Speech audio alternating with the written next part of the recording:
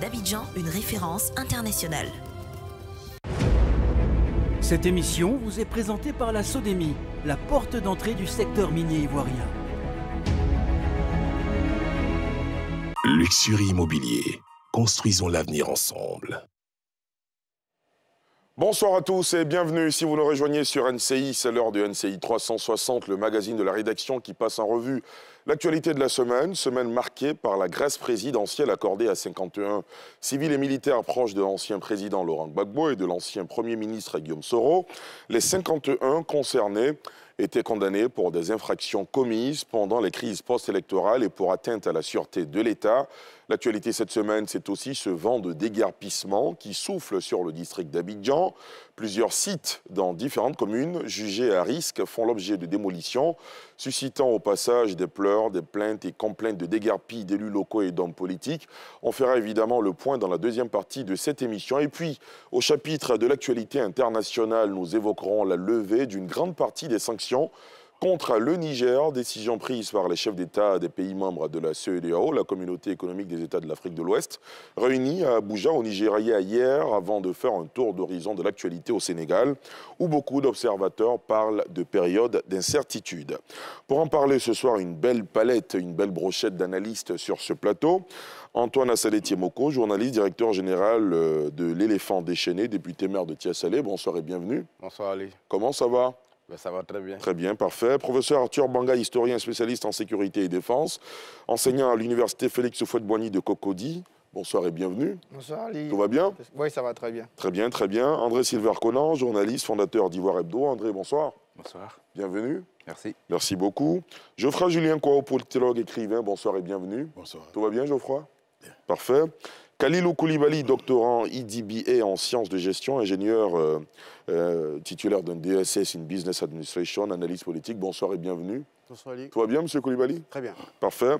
Professeur Sébastien Hervé à Pali, enseignant, formateur interprète, membre de la Chambre d'arbitrage de Côte d'Ivoire, c'est bien cela? Bonsoir et bienvenue. Bonsoir. Comment vous allez? Ben, Très bien, je me porte très bien. Très heureux de vous retrouver en tout cas, un peu plus d'un mois après la Coupe d'Afrique des Nations. C'est vrai que cette compétition vous avez un peu éloigné de ce plateau, euh, tant réclamé par les Ivoiriens, eh bien, la bonne nouvelle, c'est que nous y sommes.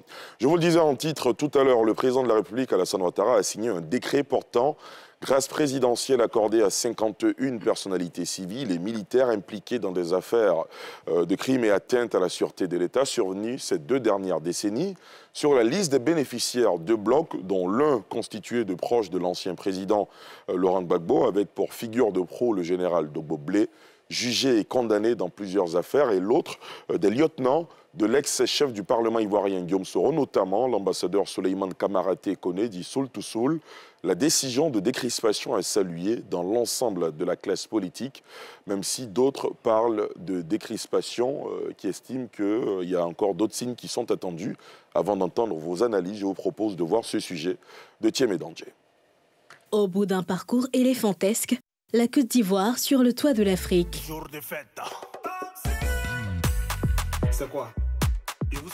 Au cœur de cet autre sacre, le premier en terre ivoirienne, les innombrables efforts et actions du président de la République, mais aussi et surtout la mobilisation des Ivoiriens dans leur diversité ethno-sociologique. Tous debout pour pousser les pachydermes à la victoire finale. Une fibre de patriotisme affirmée qui n'a pas échappé au premier capitaine de l'équipe nationale. Vous avez créé une étincelle de patriotisme, de fierté, de cohésion. Vous n'imaginez pas à quel point vous avez réussi à réunir les Ivoiriens en un seul peuple. Je sais que maintenant, quand on vient vers un Ivoirien, il ne dirait pas je suis de telle région, je suis de telle ethnie, il dira je suis Ivoirien. Moins d'une semaine après, le chef de l'exécutif ivoirien s'engageait à renforcer le sentiment hérité de la messe du football continental dans le pays. Je souhaite que nous continuions à maintenir et à renforcer le climat de paix et de cohésion qui a prévalu durant la Cannes 2023. Avant la fin du mois de février, j'aurai des annonces à faire à cet égard. De l'annonce, le premier magistrat ivoirien est passé à l'acte. La signature d'un décret portant grâce présidentielle, accordé à 51 prisonniers condamnés pour des infractions commises lors des crises post-électorales et pour atteinte à la sûreté de l'État. Prise pour renforcer l'élan du rassemblement des filles et des fils autour de la mère patrie, la mesure d'élargissement touche deux blocs de prisonniers. Le premier, des officiers généraux et supérieurs proches de l'ex-président Laurent Gbagbo, avec pour figure de proue le général Bruno Dogboblé. Le portrait pénitencier du médaillé de la défense française, échelon or et argent, se présente comme suit. Condamné à la prison à vie en février 2016 par le tribunal d'Abidjan Plateau pour complicité de meurtre de l'ex-chef de l'État, le général Robert Guéhy, de son épouse et son aide de camp le 19 septembre 2002. Condamné à 15 ans de prison ferme par le tribunal militaire d'Abidjan pour l'assassinat du colonel-major Adama Dosso. Condamné à 18 ans de prison ferme dans l'affaire dite des disparus du Novotel par la cour d'assises siégeant au tribunal de Yopougon pour le rapt en avril 2011 au Novotel d'Abidjan Plateau et le meurtre de quatre expatriés, dont Yves Lamblin, alors directeur du groupe SIFCA, et Stéphane France, dit Ripel, alors directeur du Novotel. Le second bloc comprend des proches de l'ancien président de l'Assemblée nationale, Soro Guillaume, avec pour tête forte l'ambassadeur Suleiman Kamaraté Kone, dit Soul to Soul. À son passif, deux faits qui conduisent en prison. L'affaire de cache d'armes de Boaké en 2017, après une mutinerie d'ex-combattants intégrés à l'armée, et celle d'atteinte à la sûreté de l'État en décembre 2019. Sur la liste des bénéficiaires de la grâce qui le voient humer l'air frais de la liberté, des co-accusés dont certains jugés et condamnés par contumace, à savoir entre autres l'ex-ministre Afoussiata Bambalamine, Isiaka Fofana, ex-DG de la LONASI et Touré Moussa, journaliste et directeur de la communication de Guillaume Soro. À cela s'ajoutent six personnalités qui devraient bénéficier d'une remise en liberté provisoire. Ces libérations étaient réclamées par l'ex-président Laurent Gbagbo lui-même gracié en août 2022. Son parti, le PPACI, salue cette décision. Son Excellence, le président Laurent Gbagbo, et avec lui l'ensemble du Parti des peuples africains Côte d'Ivoire, PPACI, expriment leur satisfaction pour cet acte qui constitue une avancée positive vers la réconciliation nationale tant attendue.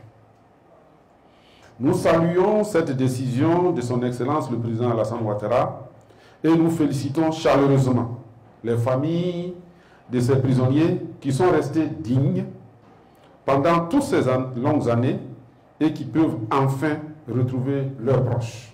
Pour Charles Blégoudet, il faut déjà saluer le nouveau pas posé et exhorter à maintenir cette bonne dynamique. Je salue cette mesure de grâce. On ne va pas rentrer en 2025 avec le contentieux de 2011, avec le contentieux de 2020. C'est pourquoi j'en appelle encore pour que le chef de l'État puisse euh, vider ce contentieux-là. Il faut tourner définitivement la page des différentes crises que la Côte d'Ivoire a connues. Cela est possible. Ensemble, main dans la main, nous devons réussir à redonner à la Côte d'Ivoire ce que nous avons vu tout récemment à la Cannes ces Ivoiriens qui chantent ensemble, ces Ivoiriens qui pleurent ensemble, ces Ivoiriens qui se réjouissent ensemble, au nom d'une seule couleur, au nom d'une seule nation. Cela est possible. Même réaction pour d'autres acteurs politiques. Outre la loi d'amnistie dont a bénéficié l'ex-première dame Simone Gbagbo et la grâce présidentielle en faveur de Laurent Gbagbo, le dernier décret d'élargissement de 51 prisonniers a été précédé d'une rencontre entre le Premier ministre Robert Begré-Mambé et les victimes des crises. Une volonté du gouvernement d'implorer le pardon des victimes et les impliquer dans la dynamique de renforcement de la cohésion dans le pays. Une œuvre chère au cœur du président Alassane Ouattara, signataire de la nouvelle mesure de grâce qui voit sortir de prison plusieurs proches de Laurent Gbagbo et Guillaume Soro. Monsieur, comment vous réagissez à cette euh, mesure euh, de grâce accordée à 51 personnalités euh, civiles ou militaires Khalilou Koulibaly? Écoutez, une très bonne chose, déjà, dans, le, dans la mesure où ça va dans le sens de la réconciliation. Je pense que ça s'inscrit dans la vision du chef de l'État, dans son momentum, donc euh, de faire de la Côte d'Ivoire euh, euh, un peuple uni,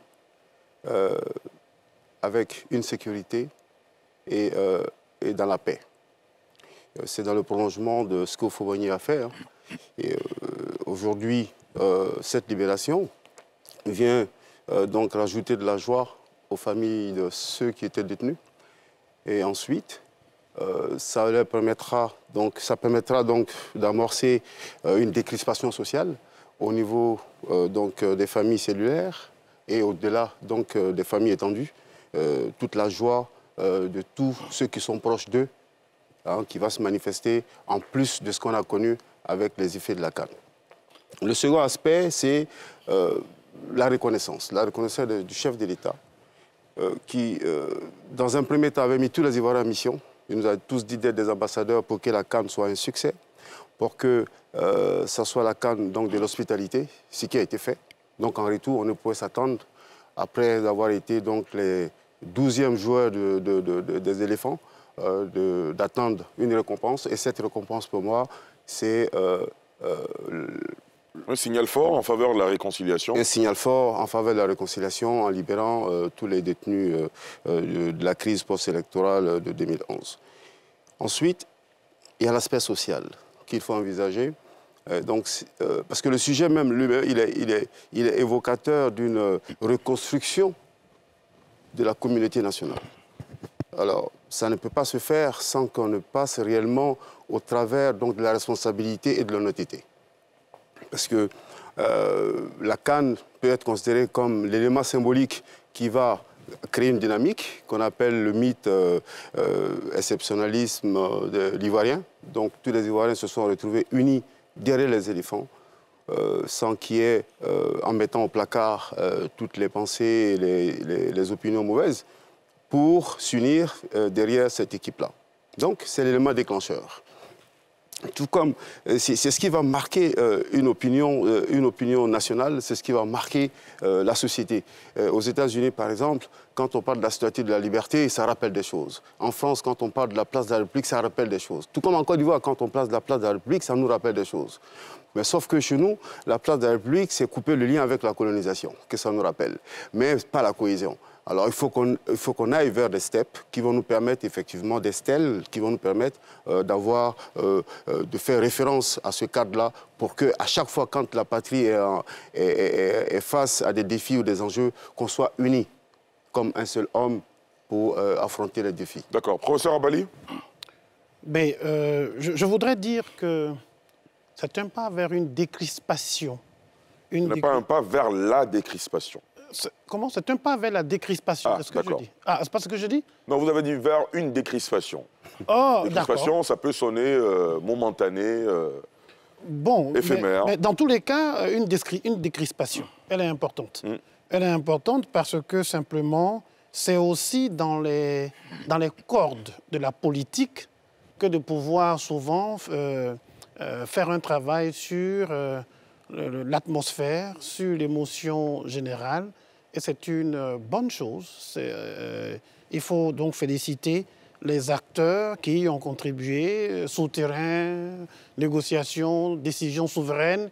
Mais le résultat, la décision du chef de l'État de pouvoir poser ce acte est quelque chose de bien parce que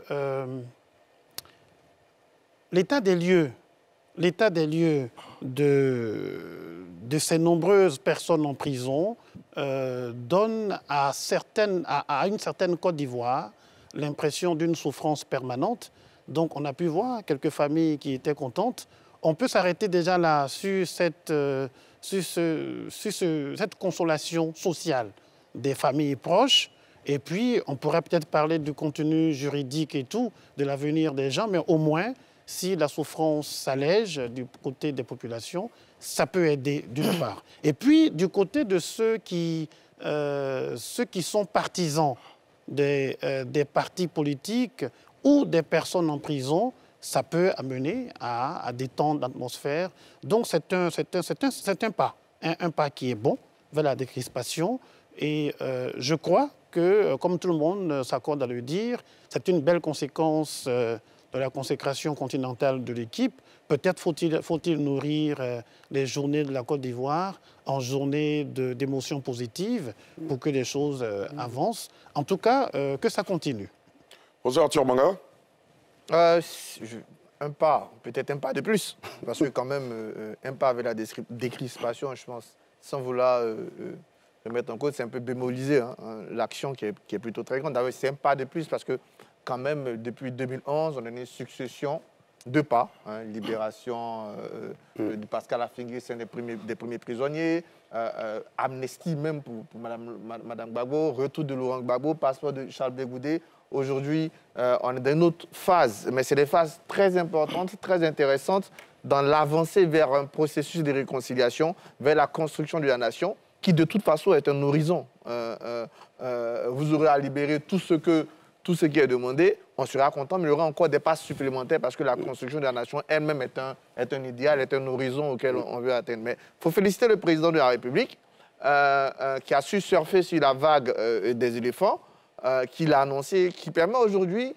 de tourner une bonne page de la crise. Je pense quand même que même s'il y a encore des attentes, là on a quand même franchi un pas très intéressant et il est, il est peut-être temps de, de se dire la crise, il faut qu'elle soit totalement derrière nous. Et là, je, pense que c'est tout à l'honneur du président de la République d'avoir pris cette décision-là, en ce moment-là, euh, pour surfer sur la, vague de la joie, du sentiment d'unité nationale qu'on a aujourd'hui, mais essayer de l'amplifier.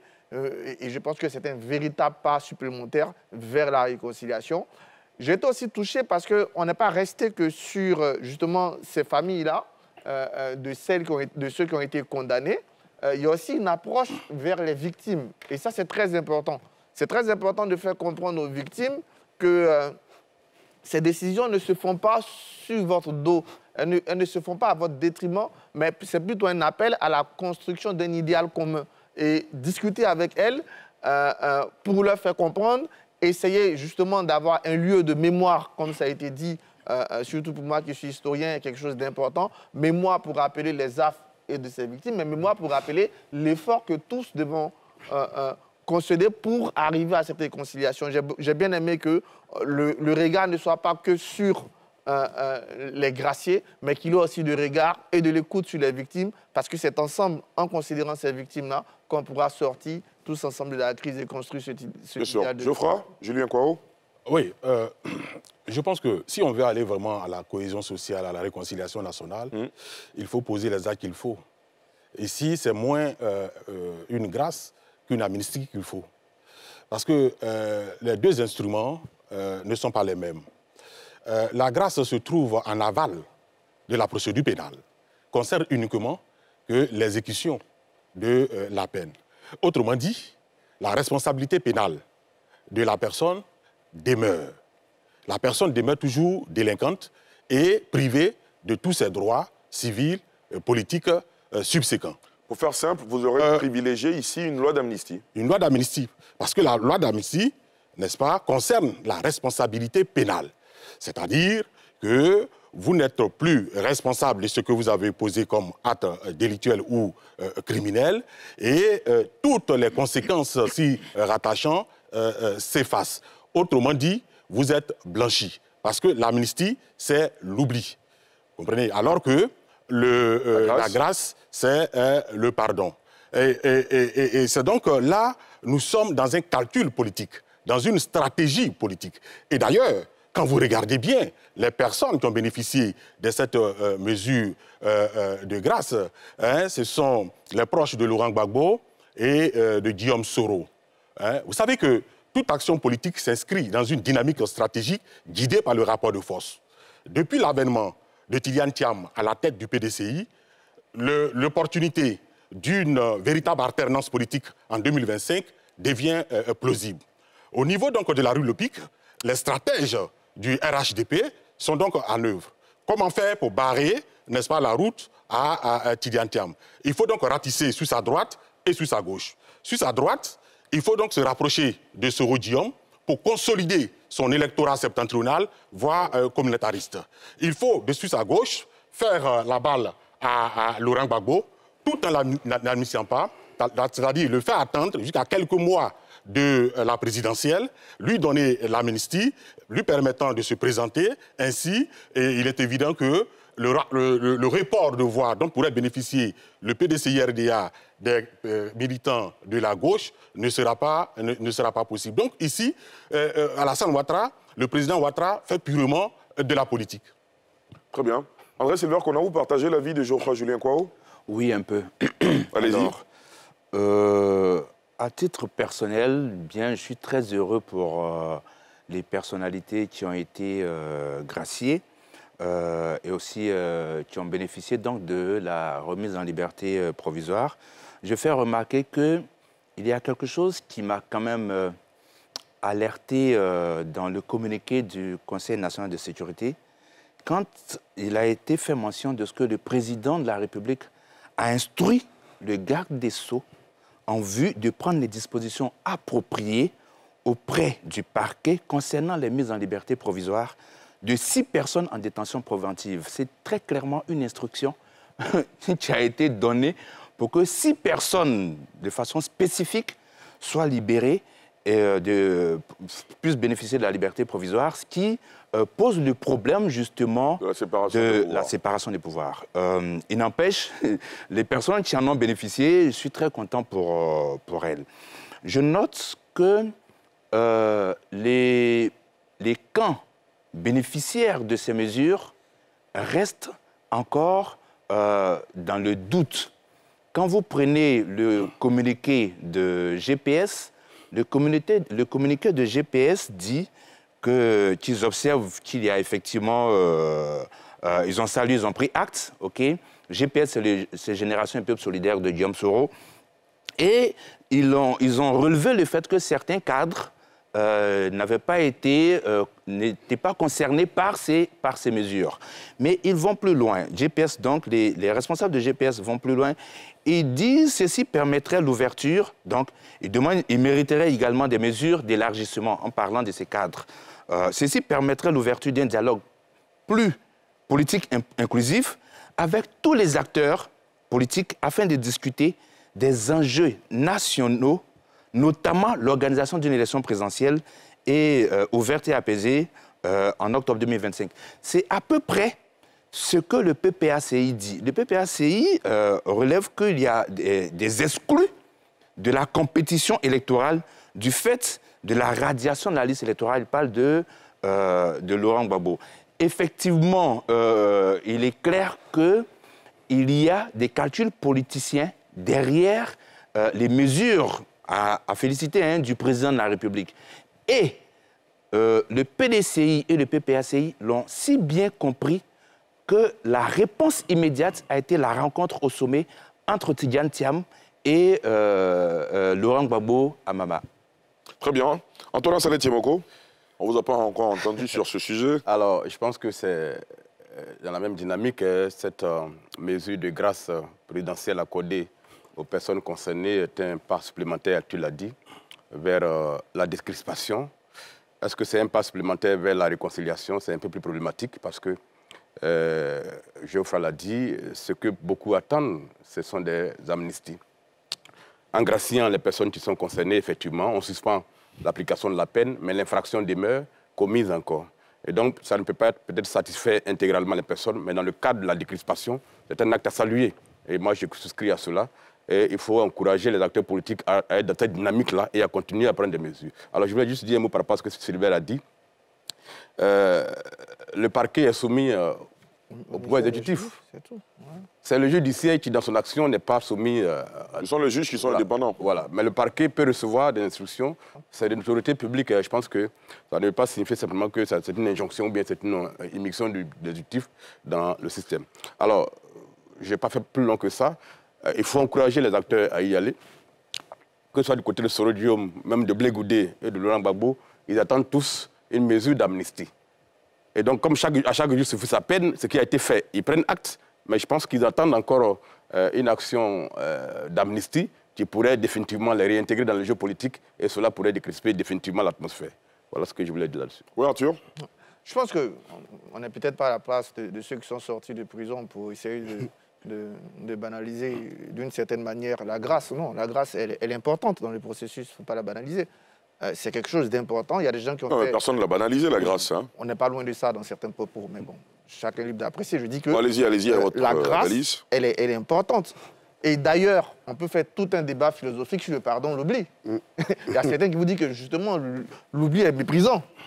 L'oubli, ça peut être une ouverture à, à, à- à la faute répétée. Et que le pardon serait, serait, serait mieux que l'oubli. C'est tout un débat qu'on peut avoir. Et pour terminer, oui, tout en politique, il agit en politique. Euh, c'est un processus. Il a fait un pas. Il faut saluer ce pas. Il faut le reconnaître. Il faut l'admirer à sa, à, sa, à sa juste valeur. Ne pas essayer de le banaliser. Et puis peut-être demain, on aura mieux. Mais euh, euh, je ne crois pas que. Et puis, la loi de l'amnistie, comme je l'ai dit, et je l'ai rappelé plusieurs fois ici, quand, quand on, a, on a reçu certains, certains membres de, de l'opposition, euh, on a un député, ils ont l'initiative des lois. Donc rien n'empêche, rien n'empêche un parti d'opposition de lui-même faire une proposition de loi d'amnistie. Plutôt que de chaque fois réclamer à l'exécutif euh, euh, le travail judiciaire, le travail législatif, mais allez-y, voilà, le président il a fait ce qu'il peut. Il a fait une grâce, si ça ne vous suffit pas, moi je veux voir demain des propositions de loi d'amnistie faites par tous ces partis d'opposition qui ont moins, en au moins deux groupes parlementaires de l'opposition, qui peuvent construire une loi d'amnistie, et puis on va progresser. Mais je, je pense qu'il y a d'abord tout un débat éthique autour du pardon et de l'oubli. Oui, c'est bien qu'on aille plus loin, mais aujourd'hui, il faut, faut se satisfaire à sa juste mesure de l'effort que le président a fait, j'insiste, dans le sens de la réconciliation et de la construction de la nation, au-delà d'une décrispation, une simple et banale décrispation. Khalilou Koulibaly Oui. Alors, je voudrais juste réagir par rapport à ce que Geoffroy a dit. Bon, le- une analyse, on peut l'orienter dans le sens qu'on veut, euh, sauf que celle-là, elle nous sort justement du contexte euh, précis euh, qui a été défini. Qu'est-ce que vous reprochez Bon. à l'analyse de Geoffroy sans trop de qualificatifs en disant que le président de la République est dans un calcul en faisant une grâce, je dis bon. C'est sa lecture? Qu'est-ce que vous en dites, vous? Moi, je dis c'est pas vrai. Parce que le président, de la, le président de la République a fait ce qui est de son ressort. Et ah, tu viens de le dire, voilà, c'est euh, à l'Assemblée nationale, euh, au, groupe parlementaire, d'initier des propositions de loi qui vont aller vers la- l'amnistie. Donc pour l'instant, on ne peut pas l'accuser de mauvaise foi, puisque ce n'est pas de son ressort. Professeur. Je, je crois qu'il y La proposition d'amnistie n'est pas de son ressort. Le, le président. Ça peut venir- ça peut venir il, de lui. il peut initier, mais Euh, je vais voilà, dire, il ne prend pas il une ordonnance d'amnistie. même de- D'accord. Voilà, il Est-ce que vous avez terminé Oui, bien sûr. Non, non, je n'ai pas terminé. Voilà, le président de la République ne prend pas une loi d'amnistie. Il prend une, une- euh, il prend une grâce, euh, une grâce présidentielle, ce qui est de son ressort. Mais par contre, la loi d'amnistie peut faire une proposition, tout comme les Simone Gbagbo a députés. été amnistié par lui, hein, on se rappelle. Écoutez, bon, écoutez, vous savez, euh, euh, Sylvain, la... Il faut être heureux. n'empêche pas Il faut être, voilà, il faut, il faut être heureux. Il faut être heureux quand même euh, des prises de position, des, des décisions qui sont prises en faveur de ceux qui étaient en prison ou de ceux qui sont condamnés. Il faut avoir de la compassion pour eux. Non, non, c'est important. Parce que quand on a passé 13 ans en prison et qu'on on, a- on, a- on bénéficie de la grâce, on sort et que les familles sont heureuses, tu ne vas pas te substituer à la place en disant que ce n'est pas une bonne chose. Je suis désolé. Mais par contre, oui, quand tu demandes, c'est dans, dans leur pouvoir, donc, euh, ou c'est de leur rôle hein, de dire, écoutez, nous voulons une loi d'amnistie, mais sauf qu'ils n'ont pas la bonne démarche. On ne peut pas solliciter quelque chose et puis ne pas avoir la bonne posture. Très bien. Professeur Ampali, je reviens à vous tout à l'heure. Allez-y. alors, on peut pas- on ne peut pas reprocher à un politicien d'avoir une démarche politique. Oui. On peut commencer par là. Euh, tout politicien a forcément une démarche politique et c'est tout, à- tout à son honneur. Euh, toutefois, toutefois euh, ce qu'il ce que, ce qu'il faut noter, c'est que tout le monde est d'accord que c'est un bon pas vers la décrispation. Nous disons décrispation parce que euh, les attentes sont qu'il faut que sur le plan pénal, il y ait une levée. Il y a une levée, c'est une attente. Et on ne peut pas demander aux autres de ne pas avoir ces attentes-là, d'une part. D'autre part, en matière d'amnistie, ben, on a bien vu le cas de Simone Gbagbo, qui a été fait directement par le chef de l'État, tout comme il existe, comme euh, le co-débatteur propose, que ce soit une solution inverse du, du cela passe par parlementaire l'Assemblée nationale. ou du législatif. Ok, d'accord, très bien. Mais au moins, on, on- on sait que euh, cette grâce peut être entendue par certains comme une épée de Damoclès au cas où euh, des situations reviendraient, puisque aucune responsabilité pénale n'est levée dans ce cas de figure. C'est dans ce cadre-là que je ne parle pas de pardon-oubli, parce que sur le plan, au, au point de vue juridique, une amnistie et euh, une grâce, c'est une affaire pénale ou une affaire de, euh, de, de- de contentement avec la grâce pour que politiquement, si on est intéressé, on puisse revenir. Mais, mais euh, nous ne reprochons pas au chef de l'État d'avoir des visées politiciennes. Un politicien ne peut pas ne pas avoir une visée politicienne, c'est dans la nature des choses. André?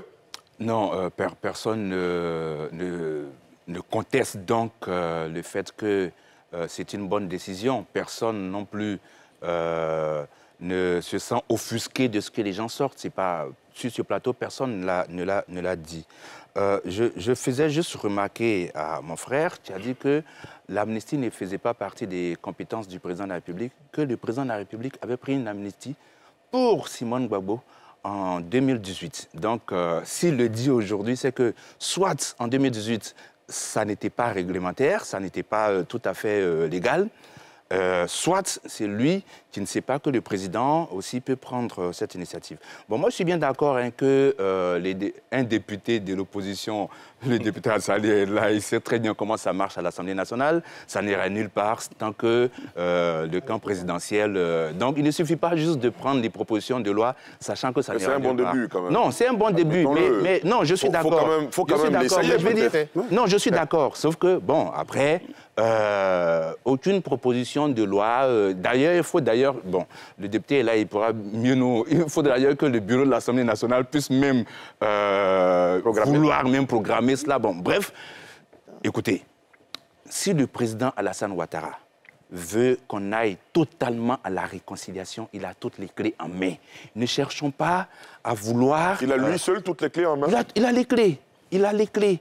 Il a les clés de l'amnistie, il a les clés de la fin de l'exil des gens, il a, les clés. Voilà, il a les clés même de la liberté provisoire, voyez. Donc, il a les clés. Ne cherchons pas à déléguer euh, ces clés, à rejeter les responsabilités sur des députés de l'opposition qui peuvent certes prendre cela, mais juste pour la forme. Euh, non, on ne fait pas la politique juste pour la forme. Est-ce que de mémoire de journaliste, les députés ont déjà initié une telle action en vue de susciter une amnistie pour des personnalités Et cela est arrivé au, au bout du compte ou pas du tout? C'est une question que je- pas du député, tout. le Je pose député aux- aux Méambri, députés. je crois, en Pas du 2000... tout. euh, Euh, toutes les initiatives dans ce sens n'ont pas abouti même à une programmation. Ouais. D'accord. La précision et détail. Je reviendrai à vous, Arthur Manga. Je, je- je commence par Géoffroy Julien Coré et ensuite ce sera vous. Oui. Geoffroy, allez-y. Oui, la discussion est intéressante en ce, en ce sens qu'elle est contradictoire et j'aime le débat contradictoire. C'est mon dada, ça. Alors, euh, cette décision de grâce, elle n'est pas inclusive. Si elle était faite pour la réconciliation, elle, elle aurait été. Pourquoi elle n'est pas inclusive. Dites-nous. M. CKCK euh, est toujours en prison, à, à- à ma connaissance. Oui. Sauf, sauf si je me trompe. hein. Je me trompe. M. Blé Goudé, par exemple, n'a pas bénéficié ni de grâce ni d'amnistie jusqu'à présent, jusqu'à preuve du contraire. Mais Or, tout, tout ce qu'on leur reproche, ils, sont, ils font partie aussi des, euh, des, en fait, des personnes condamnées dans le cadre de la crise euh, post-électorale et des, euh, des infractions euh, subséquentes. Mais moi, je pense qu'au-delà même de ces actes juridiques, il faut aller loin pour poser des actes politiques. Quand nous parlons de cohésion sociale, de cohésion politique, pourquoi nous en parlons? Parce qu'il y a eu fracture politique. Il y a eu fracture politique. Pourquoi il y a eu fracture politique? Parce qu'il y, a eu- il y a toujours eu en Côte d'Ivoire un problème électoral. C'est la question électorale, précisément la question de l'élection présidentielle qui entraîne toujours la fracture politique. 95, 2000, 2010, 2020. Vous vous souvenez? Donc ce qu'il faut faire aujourd'hui, c'est de préparer l'élection de 2025 en posant des actes politiques forts, allant dans le sens de la redéfinition du cadre juridique, du cadre institutionnel et du cadre opérationnel des élections. Pour être clair, je propose les États généraux des élections. Il faut redéfinir. On ne peut pas aller à une élection en 2025 avec une CEI avec une telle composition, avec un conseil constitutionnel avec une telle composition. Le cadre institutionnel doit être remis en cause. Le cadre juridique également. Vous voyez? Et donc, c'est maintenant qu'il faut préparer euh, ces élections, parce que je le rappelle, le problème de la Côte d'Ivoire, c'est l'élection présidentielle, parce que nous avons- nous n'avons pas de démocrates. Nous sommes dans une démocratie sans démocrates, c'est-à-dire des gens qui ne croient pas à la possibilité d'accéder au pouvoir par les élections, d'exercer le pouvoir et de conserver par les élections, et de, la dévolution du pouvoir par des élections. Et donc, évidemment, le jeu électoral devient, euh, n'est-ce pas, un outil de combat politique. Donc, le véritable acte à poser, c'est vrai, on salue tout ceci, mais c'est de poser des actes réfléchis dès maintenant sur l'élection de 2025.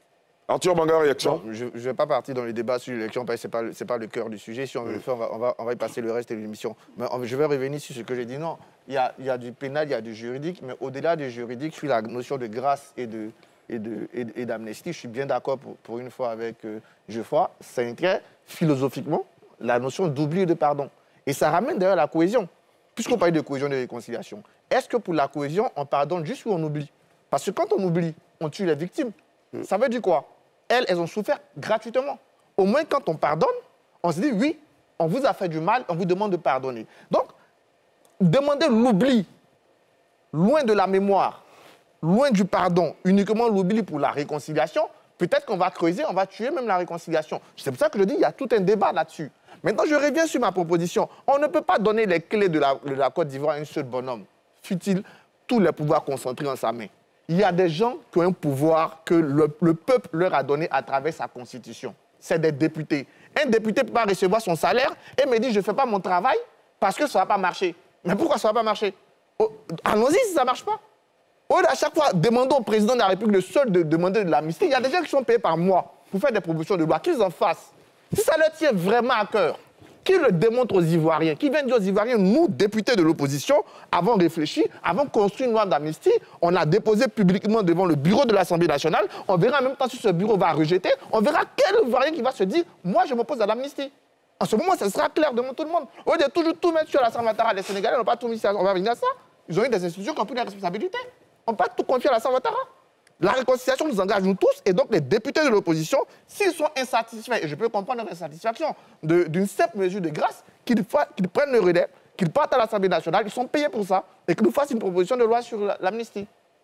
Antoine Salet Timoko ben, Écoutez, euh, j'ai discuté avec quelqu'un il y a quelques jours de cela, quand il y a eu la grâce présidentielle, et il me disait que non, c'est rien, ça vaut rien. Il a dit non, monsieur, est-ce que vous avez déjà été en prison? Ouais.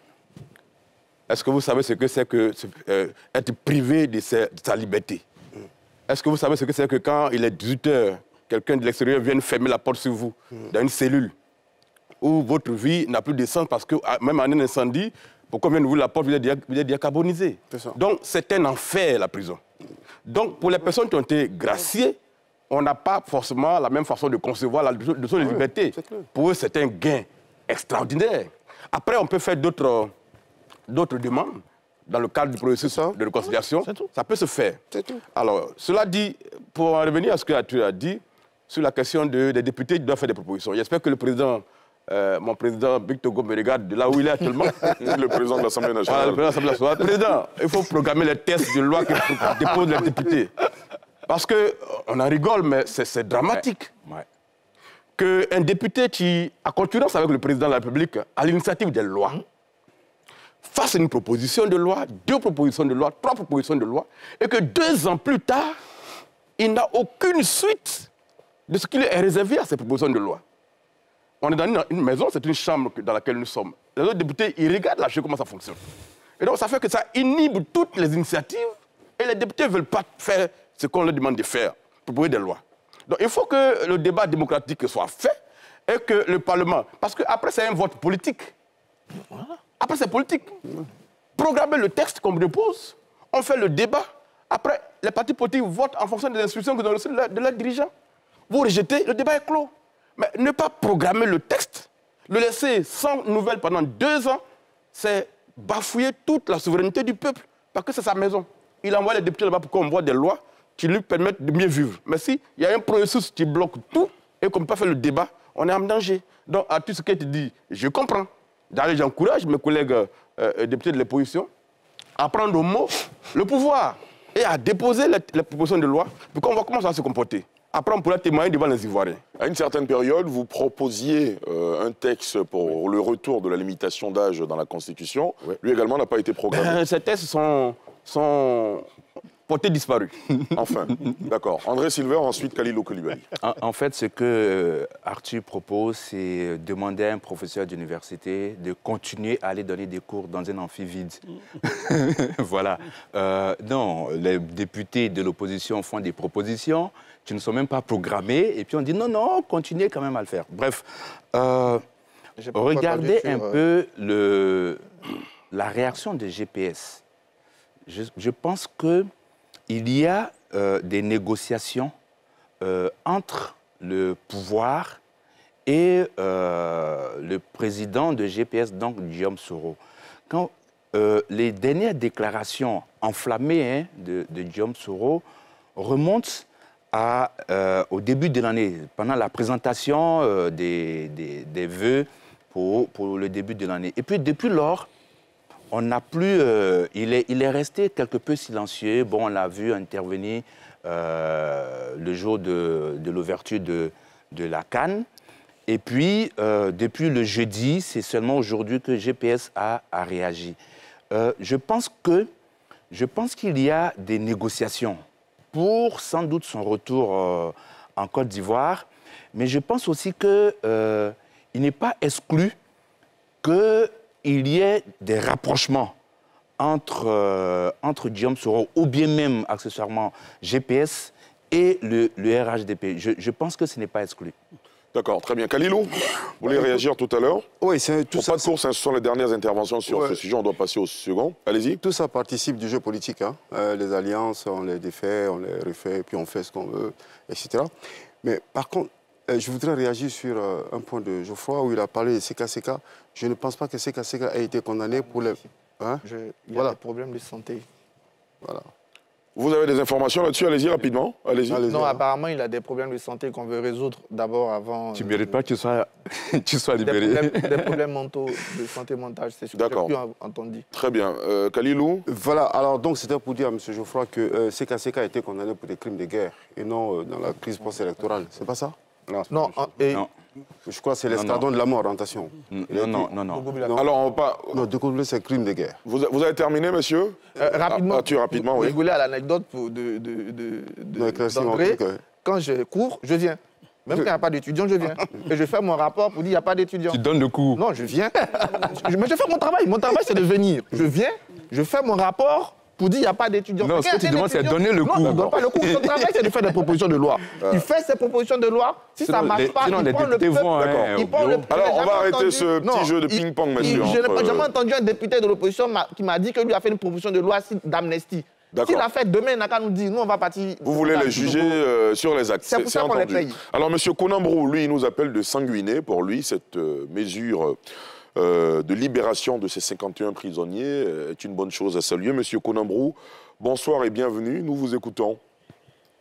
Ouais, bonsoir, chers tous. Vraiment, c'est une joie quand je, que je ressens lorsque j'attends une grâce présidentielle. Une prison, c'est vraiment être privé de tout, comme euh, M. Assalé l'a dit. Je pense que c'est un pas vers une réconciliation. Vraiment, c'est un pas vers une réconciliation. Moi qui ne suis pas membre des familles des incarcérés, je suis vraiment en joie. Imaginez les incarcérés eux-mêmes, les parents des incarcérés, que euh, cette euh, paix tant recherchée soit sur cette voie-là. Parlant de euh, proposition de loi, les députés peuvent s'être faits, mais c'est la majorité qui va emporter. Ils peuvent faire des propositions de loi, mais qui peuvent ne pas passer, vu qu'ils ne sont pas majoritaires. La grâce présidentielle, c'est le président qui prend. L'amnistie doit passer par l'Assemblée nationale. Maintenant, si la majorité n'a pas opté pour, est-ce que ce ne serait pas, euh, comme on appelle, peine perdue C'est vrai, ils peuvent le faire, mais ça peut ne pas passer parce qu'ils ne sont pas majoritaires. Voici un peu. Mais pour la réconciliation, on souhaiterait qu'ils puissent euh, essayer de faire euh, l'effort pour que la paix tant recherchée, la réconciliation. Bon, bonne émission à vous, que Dieu bénisse. Merci beaucoup, merci, merci paix Colombo. Merci de nous appeler depuis Sanguinet. Geoffroy, rapidement. Oui, non, je voulais faire quelques précisions. Je n'ai pas dit que je suis contre la libération des uns et des autres. Je suis euh, un analyste, j'analyse une situation euh, euh, politique. Il est évident que c'est tout le monde est heureux. Ce que je demande, c'est qu'on prenne des actes euh, assez forts. Parce que l'amnistie, c'est quoi? La grâce est comprise dans l'amnistie. Lorsque vous bénéficiez d'une mesure d'amnistie, vous êtes gracié d'office. Puisque l'amnistie con- concerne également la dispense de l'exécution des peines. Donc, je ne sais pas. Oui, voilà, le problème, c'est du droit. Attendez, nous sommes en droit. Hein, et- et D'accord. Le droit, c'est l'affaire d'abord des juges. Alors, on, on vous a entendu tous largement sur ce sujet. Professeur Apali, vous voulez faire une... euh, Non, non, euh, je pense que ça va. D'accord, très bien. Oui, euh, à Antoine Assalé ce qui concerne euh, CKCK, je peux comprendre qu'il aurait des problèmes mentaux. Ouais, Bon, si- sentimentaux. si si c'est le cas, il n'a plus rien à faire en prison. Justement. D'accord, vraiment, très euh, bien. Messieurs, un vent de déguerpissement souffle sur le district d'Abidjan. Plusieurs sites euh, dans différentes communes jugées à risque font l'objet de démolitions, suscitant au passage des pleurs, plaintes et complaintes de déguerpis d'élus locaux et d'hommes politiques, mais aussi et surtout d'activistes de la société civile, dont le Conseil national des droits de l'homme, qui dénonce des opérations à visage inhumain, une version que le gouverneur du district autonome d'Abidjan, Ibrahim Sissé Bakongo, bat en brèche, arguant la remise de mise en demeure, restée lettre morte, Jesco Boribana, un dégarpissement, des larmes et des questions, un sujet exclusif de Thiem Danger, et on entendra vos analyses juste après.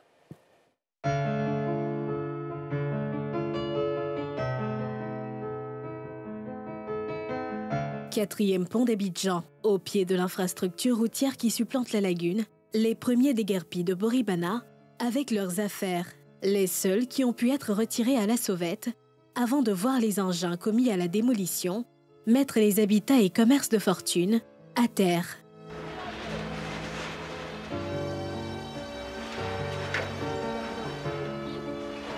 D'autres, eux, s'affairent encore à sauver ce qui peut l'être avant la démolition de leur bâti.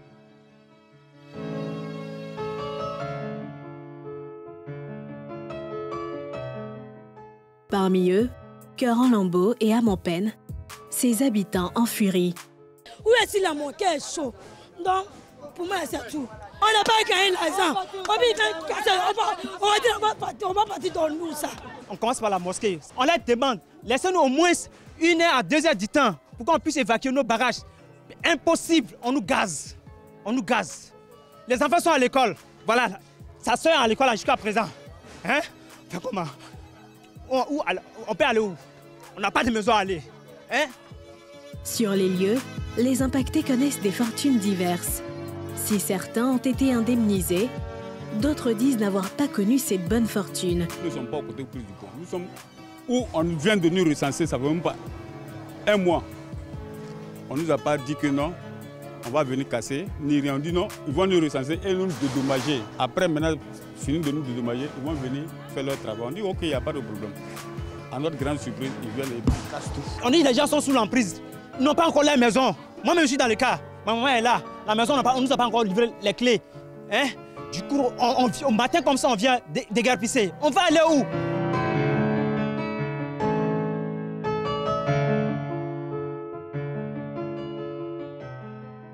Autre commune, Yopougon, quartier Gesco. Même image forte. Des occupants, le peu d'affaires sorties dans la débandade, sur la tête, ne sachant où aller. D'autres s'affairant à retrouver d'hypothétiques biens dans leur bâtisse réduit en amas de gravats. Je devais passer un concours, ils m'ont dit qu'ils ont besoin de mon BPC. Donc hier, je viens dans la cour, ils sont chercher le diplôme. Il y a un monsieur qui qui dit Sauter, on doit casser. Mais tonton, casser comment? Il a casser la cour là. Donc je couche, je vais appeler mon tonton. En venant, il va trouver ont casser la couche. Depuis, ils essaient de chercher mon, mon diplôme. Rien. On n'a plus rien enlevé.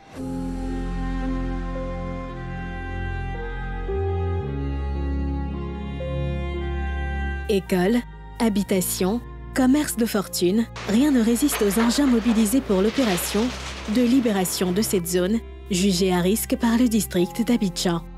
Là également, difficile de contenir la douleur qui enfle les cœurs déchirés, lesquels finissent par se lâcher, criant indignation et désolation. On n'est pas contre le développement, mais un peu de respect pour notre dignité. Nous, on est organisé en syndicat, on aurait pu avoir une correspondance, ou bien une mise en demeure, ou bien une croix sur nos maisons. Rien de tout ça. Ici, tous jurent la main sur le cœur n'avoir pas été informés de l'opération. Mise en cause dans un communiqué, le district d'Abidjan bat en brèche cette version et fait des précisions sur l'école d'Eguerpi, qui ne serait que l'annexe. Le bâtiment qui a été démoli était une annexe de cette école Chat-Hélène, qui existe et qui fonctionne à la date d'aujourd'hui.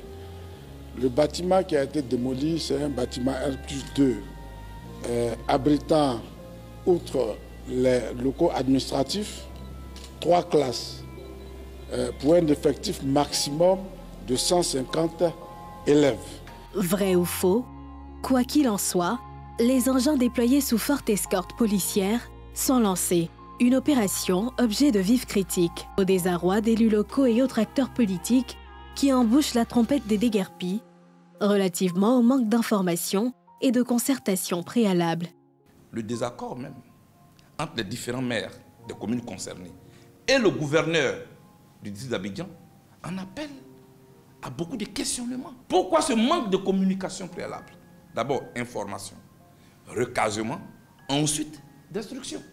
Outre les hommes politiques, les déguerpissements en cours mécontentent les activistes des droits de l'homme. En première ligne, le Conseil national des droits de l'homme, dont la présidente, dans un communiqué, est très critique.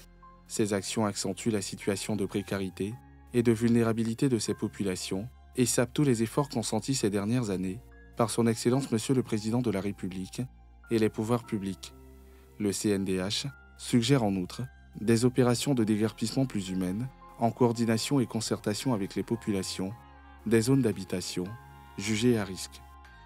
Le CNDH préconise par ailleurs l'arrêt immédiat de ces opérations qui doivent toucher plusieurs sites des différentes communes d'Abidjan.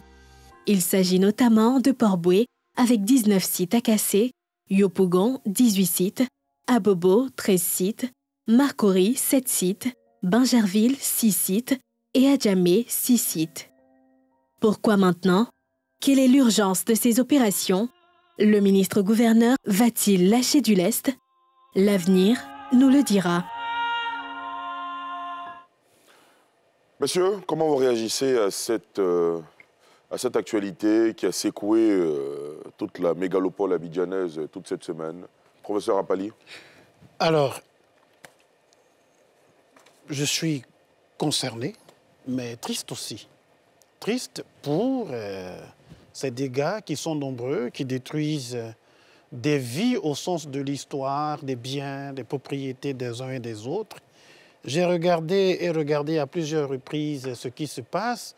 J'ai lu les écrits communiqués qu'on a distribués. J'ai écouté l'intervention du ministre Bakongo, gouverneur du district. Et j'ai écouté également les politiques, quelques politiques qui sont intervenus.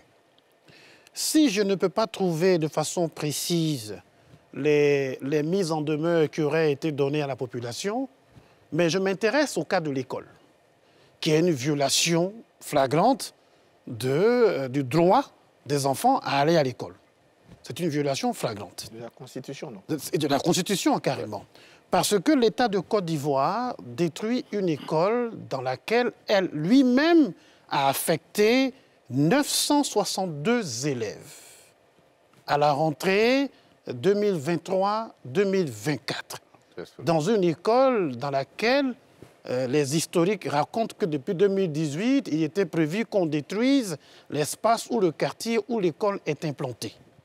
Ça, est-ce que c'est un problème de gouvernance? Est-ce que c'est un problème d'éthique? Est-ce un problème de responsabilité? Mais il y a un gros souci dans le cadre de la gestion de, de, ces, de ces situations-là. Ça, ça me préoccupe beaucoup. J'ai regardé la mise en demeure qui date du 25 janvier. Euh, si on adresse une mise en demeure à une école le 25 janvier, euh, ça veut dire, ça veut au moins dire qu'on ne détruira pas pendant l'année scolaire, cette école-là. Mais l'État n'a pas agi avec stratégie. Il y a la stratégie qui veut dire à long terme. L'État pose des actes pour que lui-même devienne le recours des souffrances, on aurait pu ne pas poser ces actes de ce point de vue. Alors, je, je, je, crois qu'il euh, y a plus, à plusieurs reprises, un peu avant la Cannes, il y a eu aussi des destructions. Il faut peut-être commencer à réfléchir à, à, à prendre en compte la conséquence de certaines actions, euh, même si les concernés ont tort. Supposons qu'ils ont tort et qu'ils aient été prévenus, mais c'est le rôle de l'État de prendre en charge tout ça. Moi, j'ai pensé que euh, si jamais euh, la personne a été informée, M. Chat, Hélène, je crois, c'est son nom. Il s'appelle Abbé. C'est le nom de l'école. Ah, Lui, il s'appelle Abbé. Abbé. Monsieur Abbé, l'État aurait pu recaser ses enfants d'abord dans d'autres écoles, peut-être aux frais du fondateur s'il a tort, peut-être, mais on ne mettrait pas comme ça en péril l'avenir euh, des enfants.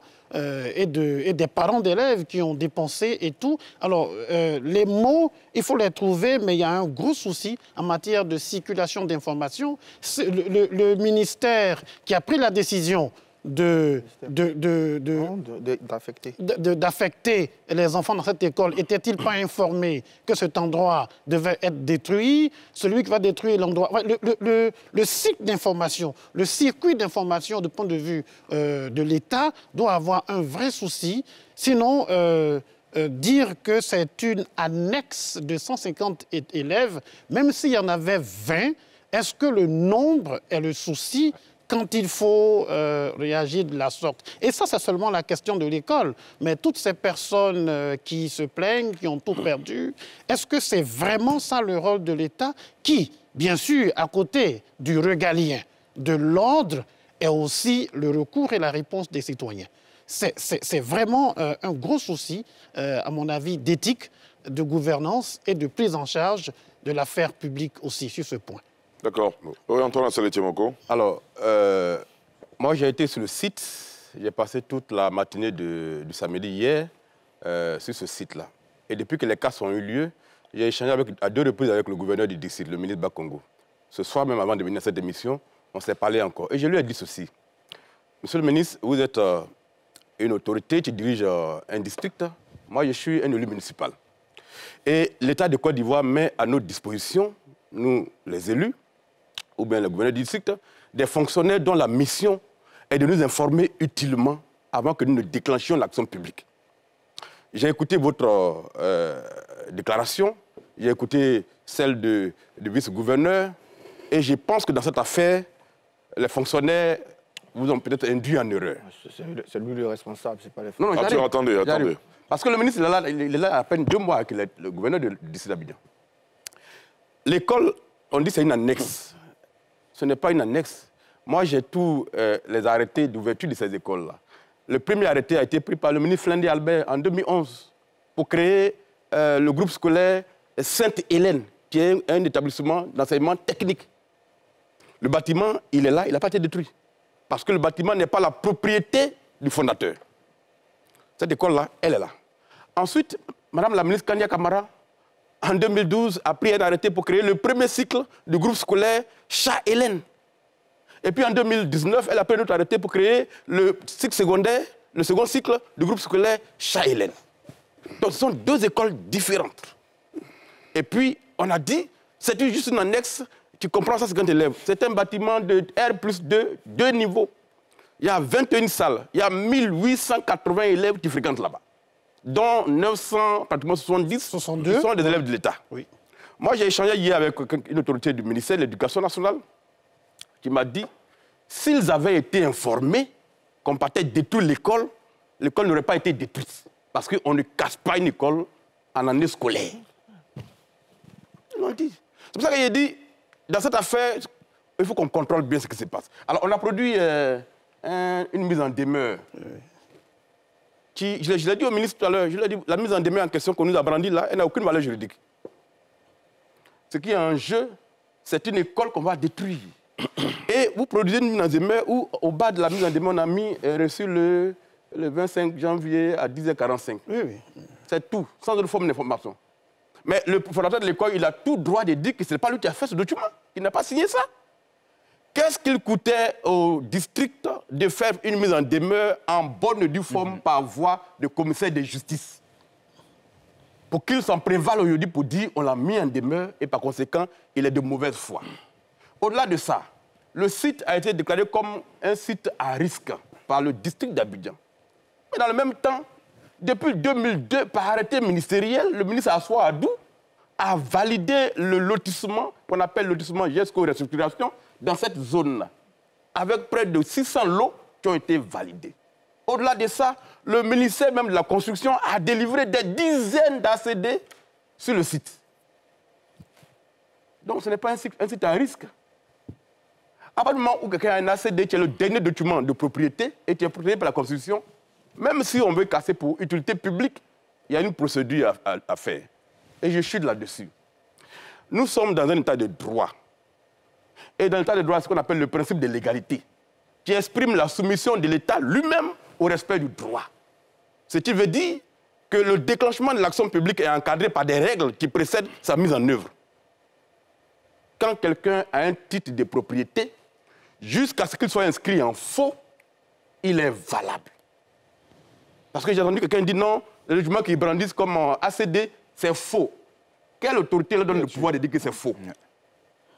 C'est un juge seul qui peut déclarer que c'est faux avant qu'on décasse. Donc pour moi, il y a des choses qui ne vont pas dans cette affaire. L'État a le droit de vouloir euh, euh, déguerpir les gens parce qu'il y a des risques de, euh, de vie en danger, mais il faut respecter les règles avant de les appliquer. Très bien. Ce que je voulais Alors, pour aller dans votre sens, Michel, qui nous appelle de Cocody, pointe du doigt la responsabilité également du ministère de la Construction. Michel, bonsoir. Bonsoir, M. Girassoua. Nous vous écoutons. Effectivement, j'indexe le ministère de la Construction parce que toute cette anarchie-là, c'est parce que les gens ont eu l'autorisation de s'installer sur euh, les parcelles qui sont soit réservées à l'État ou qui ont été validées par ce même ministère de Construction. Donc, ça fait qu'il y a une anarchie et après qu'on constate qu'il y a un problème sur ce lotissement ou sur cet endroit, le gouverneur ou le maire en question qui se retrouve dans cette localité est obligé de venir détruire. Et on se retrouve dans, une, dans un cycle infernal où on accuse le maire, le, le- le gouverneur. Pourtant, le ministère de la Construction a autorisé ces derniers à s'installer. Et je ne pourrais pas être long. On voit aujourd'hui à l'intérieur du pays des quartiers qui existent où les lotissements n'ont pas été validés. Et un jour aussi, peut-être ils vont se retrouver à ça. Merci beaucoup. On a bien compris votre euh, point de vue, votre contribution. Monsieur, j'imagine que vous êtes nombreux à vouloir réagir à cette question. Vous allez le faire, ce sera juste après cette courte pause. Port autonome d'Abidjan, une référence internationale. La Sodémie, la porte d'entrée du secteur minier ivoirien. Luxury Immobilier. Construisons l'avenir ensemble. De retour sur le plateau de NCI 360 et dans la seconde partie de cette émission, nous évo- évoquons euh, ce vent de démolition qui a eu lieu euh, cette semaine, euh, notamment à Gesco, à Boribana, à Yopougon et à, à Tekoubé. Nous avons entendu quelques-uns de nos analystes ce soir se prononcer sur la question. C'était votre tour, Khalilo Koulibaly. Allez-y. Alors, moi, sur la question, c'est vrai qu'on peut. Vraiment, je déplore effectivement bon, le fait que les gens soient mis dans la désolation de cette façon peut-être euh, brutale, on le dira. Mais tout de même, il y a eu des dispositions qui ont été prises. Moi, j'ai euh, des informations euh, concernant les mises en demeure qui ont été produites en 2018, 2021, le 25 janvier 2024, et ensuite, il y a eu un sursis même de 72 heures le 19 février 2024, avant, la démolition, avant la démolition euh, de l'annexe Chat-Hélène. Et euh, ensuite, je ne sais pas comment on peut vouloir justifier, pour moi, euh, des constructions anarchiques ensuite des falaises qui peuvent à tout moment. Autant, autant dire le droit, le droit à l'école est, est- est constitutionnel, mais le droit des vies également. Il serait encore plus dangereux ou plus fatal d'assister à la mort de 150 personnes parce que l'école est tombée en cas de pluie ou autre, parce que l'érosion, c'est au fur et à mesure, on ne sait pas. On ne fait pas des tests de terrain pour voir si euh, le, le col, euh, le terrain supporte toujours la le, le poids ou la charge de l'école. On ne sait pas, il n'y a pas d'étude qui est faite euh, dans ce sens. Et puis un matin, on est tous surpris qu'une école est tombée, il y a eu des morts. Et tout de suite, c'est le gouvernement qu'on accuse. Alors, ces démolitions qui sont faites, elles ne sont pas spontanées. Je ne suis pas d'avis avec euh, les co-débatteurs. Euh, ça a été programmé et ça a été annoncé. Euh, je me souviens très bien que même du temps du ministre de la Constitution Sanogo Mamadou à Boribana, il est passé, il a dit clairement que tous ceux qui étaient là, les propriétaires ont été dédommagés. Et dans le programme du PTUA également, les gens ont été dédommagés. Sauf que ceux qui sont là actuellement ne sont pas forcément les propriétaires. Parfois, il se trouve que les propriétaires ont déjà pris l'argent du dédommagement, ils sont allés ailleurs et puis ils ont, ils ont reloué la maison à quelqu'un d'autre. Donc, ils continuent de, recevoir donc, le bénéfice donc, du dédommagement plus le loyer qu'ils louent, parce, sachant et en cachant l'information aux nouveaux eux, ils sont chaque fois surpris. Quand il y a des événements de, de, qui arrivent, ils sont surpris. Ils se prévalent donc du fait que, bon, euh, ils sont euh, correctement, euh, ils, sont en droit d'être là parce qu'ils sont locataires, ils payent des loyers, etc. Mais sauf que c'est faux. Ça a été, ça a été, ils ont été informés, les propriétaires ont été informés pour que ceux qui, les, locataires soient, enfin, pour, pour qu'ils dégaspissent les lieux. Maintenant, je pose la question à Timo Kwassale en tant que maire. Est-ce que vous n'êtes pas quelque part coupable, responsable de cette localisation des gens anarchiquement dans vos quartiers? Est-ce que ce n'est pas votre bétail électoral? Parce que je ne peux pas comprendre qu'à Abidjan, les quartiers précaires fleurissent, aucun maire ne s'en met, parce qu'il y a un électorat là-bas à aller chercher. Mais Gobelé a disparu, personne n'est mort. Mais c'était un site dangereux. On a, on peut en citer. Euh, au moment, donc, dans l'emprise, tous ceux qui étaient dans l'emprise de la construction du, quatrième pont ont été dédommagés, ont été, il leur a été demandé, et j'ai encore les vidéos donc, des agents du BNET qui leur demandaient de partir, ils ont même dit que c'était participatif, ils requéraient la vie, les syndicats, avant de venir faire la démolition. Mais comme ils sont têtus, et chaque fois, c'est le même refrain de dire on ne sait pas où partir et euh, euh, voilà, nous sommes des pauvres, on n'a pas d'autres moyens de, de, survie que de rester là. Alors, c'est le refrain qui revient chaque fois pour jouer sur les émotions, pour jouer sur euh, les opinions des gens, pour ne pas que, justement, on les déguerpisse. Très bien. Alors, cette intervention m'emmène à vous demander est-ce qu'il ne faut pas relativiser finalement? La responsabilité du district autonome d'Abidjan est pointée du doigt, évidemment. Mais on a souvent ces récits-là de populations qui sont averties qu'elles doivent déguerpir une zone. Il euh, y en a qui partent, effectivement. Il y en a qui jouent. Il y en a qui louvoient. Il y a des locataires euh, ou des propriétaires qui prennent des loyers et tout ça. Est-ce qu'aujourd'hui, euh, ce n'est pas l'occasion de mettre sur la table du débat, effectivement, la responsabilité de ces populations qui vont recoloniser souvent des zones qui sont censées être déguerpies? Arthur Banga. Ali, moi, quand je, je Déjà, Ali, il faut comprendre quelque chose. Moi, j'ai vécu dans les bidonvilles. J'ai eu mon BPC avec mention bien quand j'étais à Saint-Lois. Où ça? À Saint-Lois. Saint-Lois, c'est où? C'est à Benjavis, c'est dans la liste d'ailleurs des coins qu'on doit déguerpir. Mais Saint-Lois, c'est rien quand tu compares à Tofiato, où j'ai eu mon dog. Tofiato, c'est l'enfer. Je dis, les heures les plus dures de la journée, il ne faut pas vouloir l'autre toilette dans la journée. C'est infernal. Quand tu rentres dans ta douche, tu ressors plus malade. On est obligé d'attendre les nuits aller à la mer, parce que c'est bord de la mer, bord de mer, pour se laver, pour faire nos bains. On doit vous poursuivre, vous avez pollué. Euh, Peut-être, mais c'est pour dire dans quel, état, dans quel état de désespoir sont les gens qui s'y trouvent. Il y a des bandits, il y a des prostituées, il y a des gens qui, qui gagnent de l'argent, peut-être 10% de cette population. Mais les 90% de ceux que vous voyez là, ils n'ont pas le choix. Ils n'ont vraiment... Parce que ce que j'ai vécu en état sans loi, ce que j'ai vécu en état Tofiato, même dans le pire de mes cauchemars, je n'ai pas envie de le revivre. Je ne crois pas que ces habitants, d'ailleurs, que je salue, aient envie de le vivre.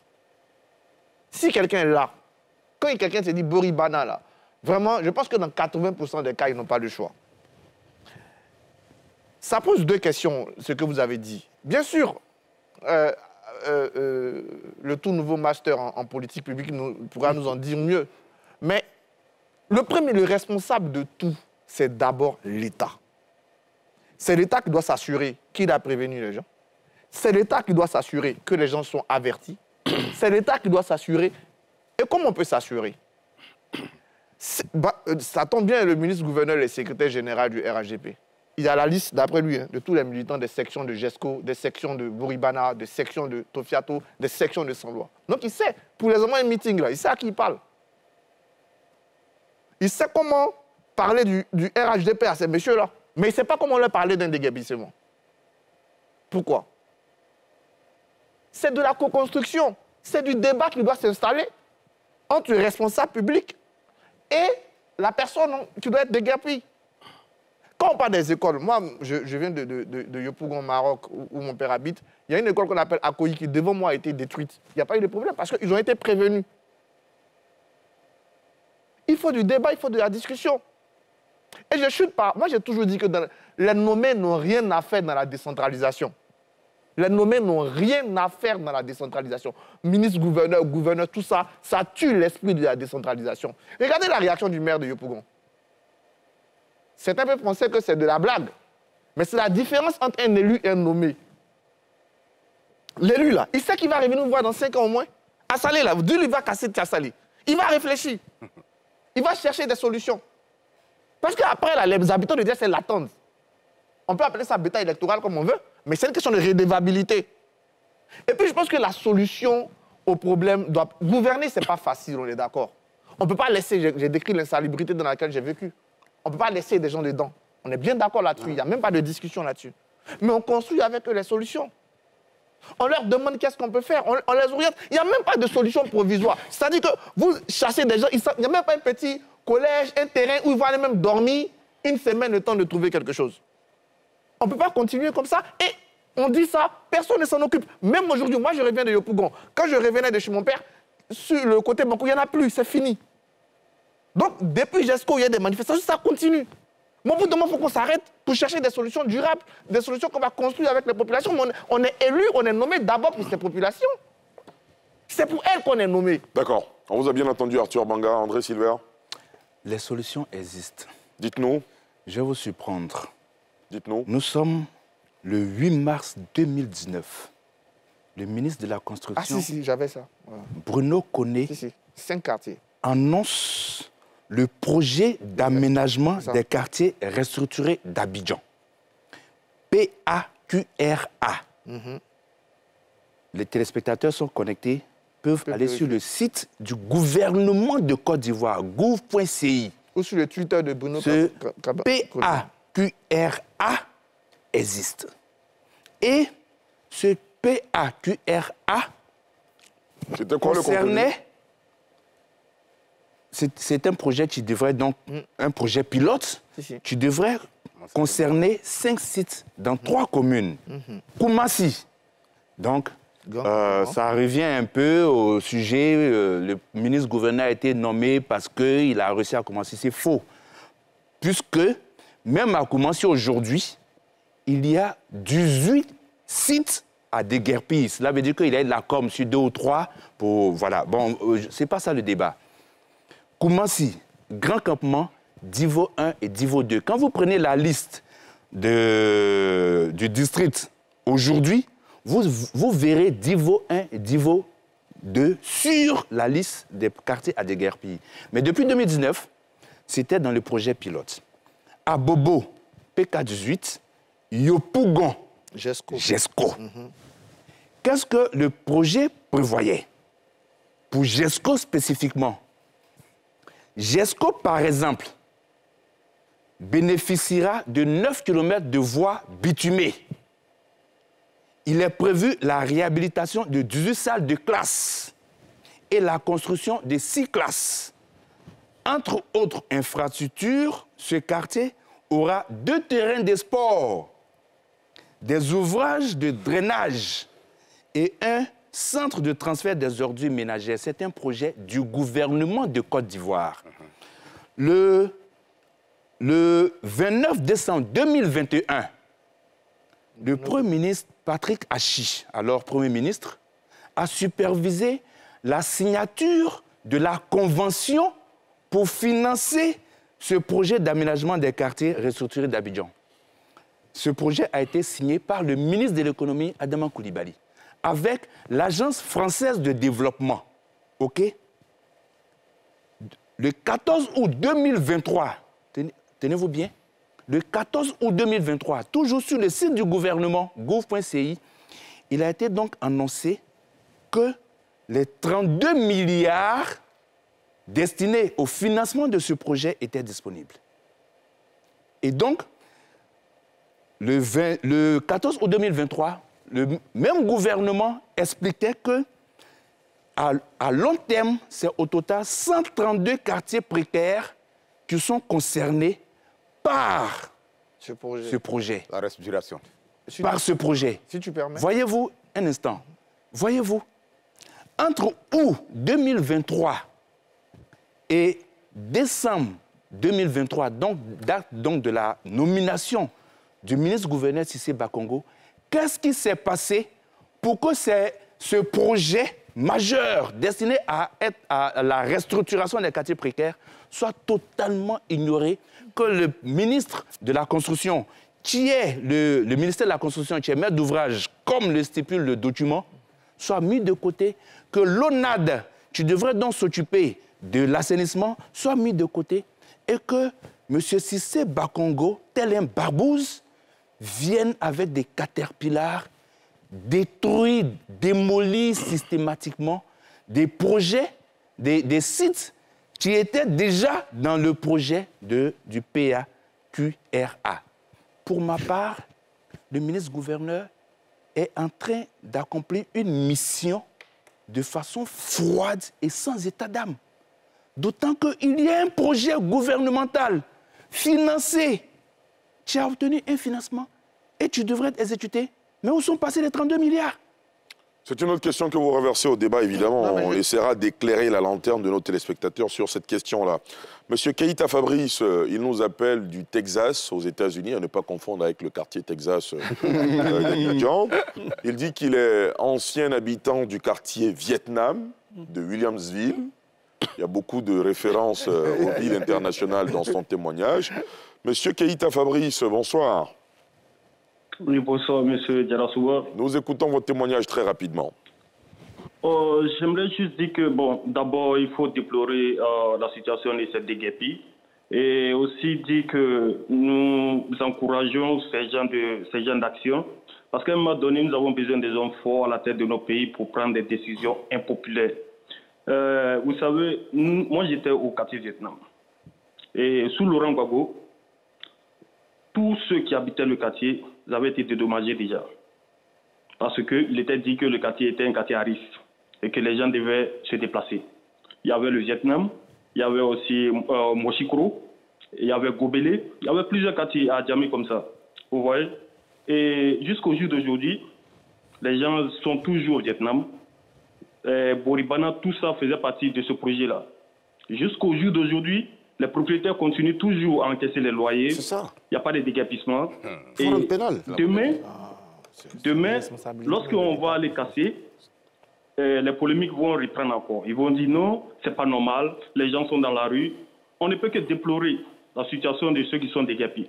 Mais les vrais responsables, ce sont, tout, ce sont plutôt ces propriétaires-là et ces maires qui, qui refusent de faire leur travail parce qu'ils ont besoin de ces populations-là pour être élus encore aux prochaines élections.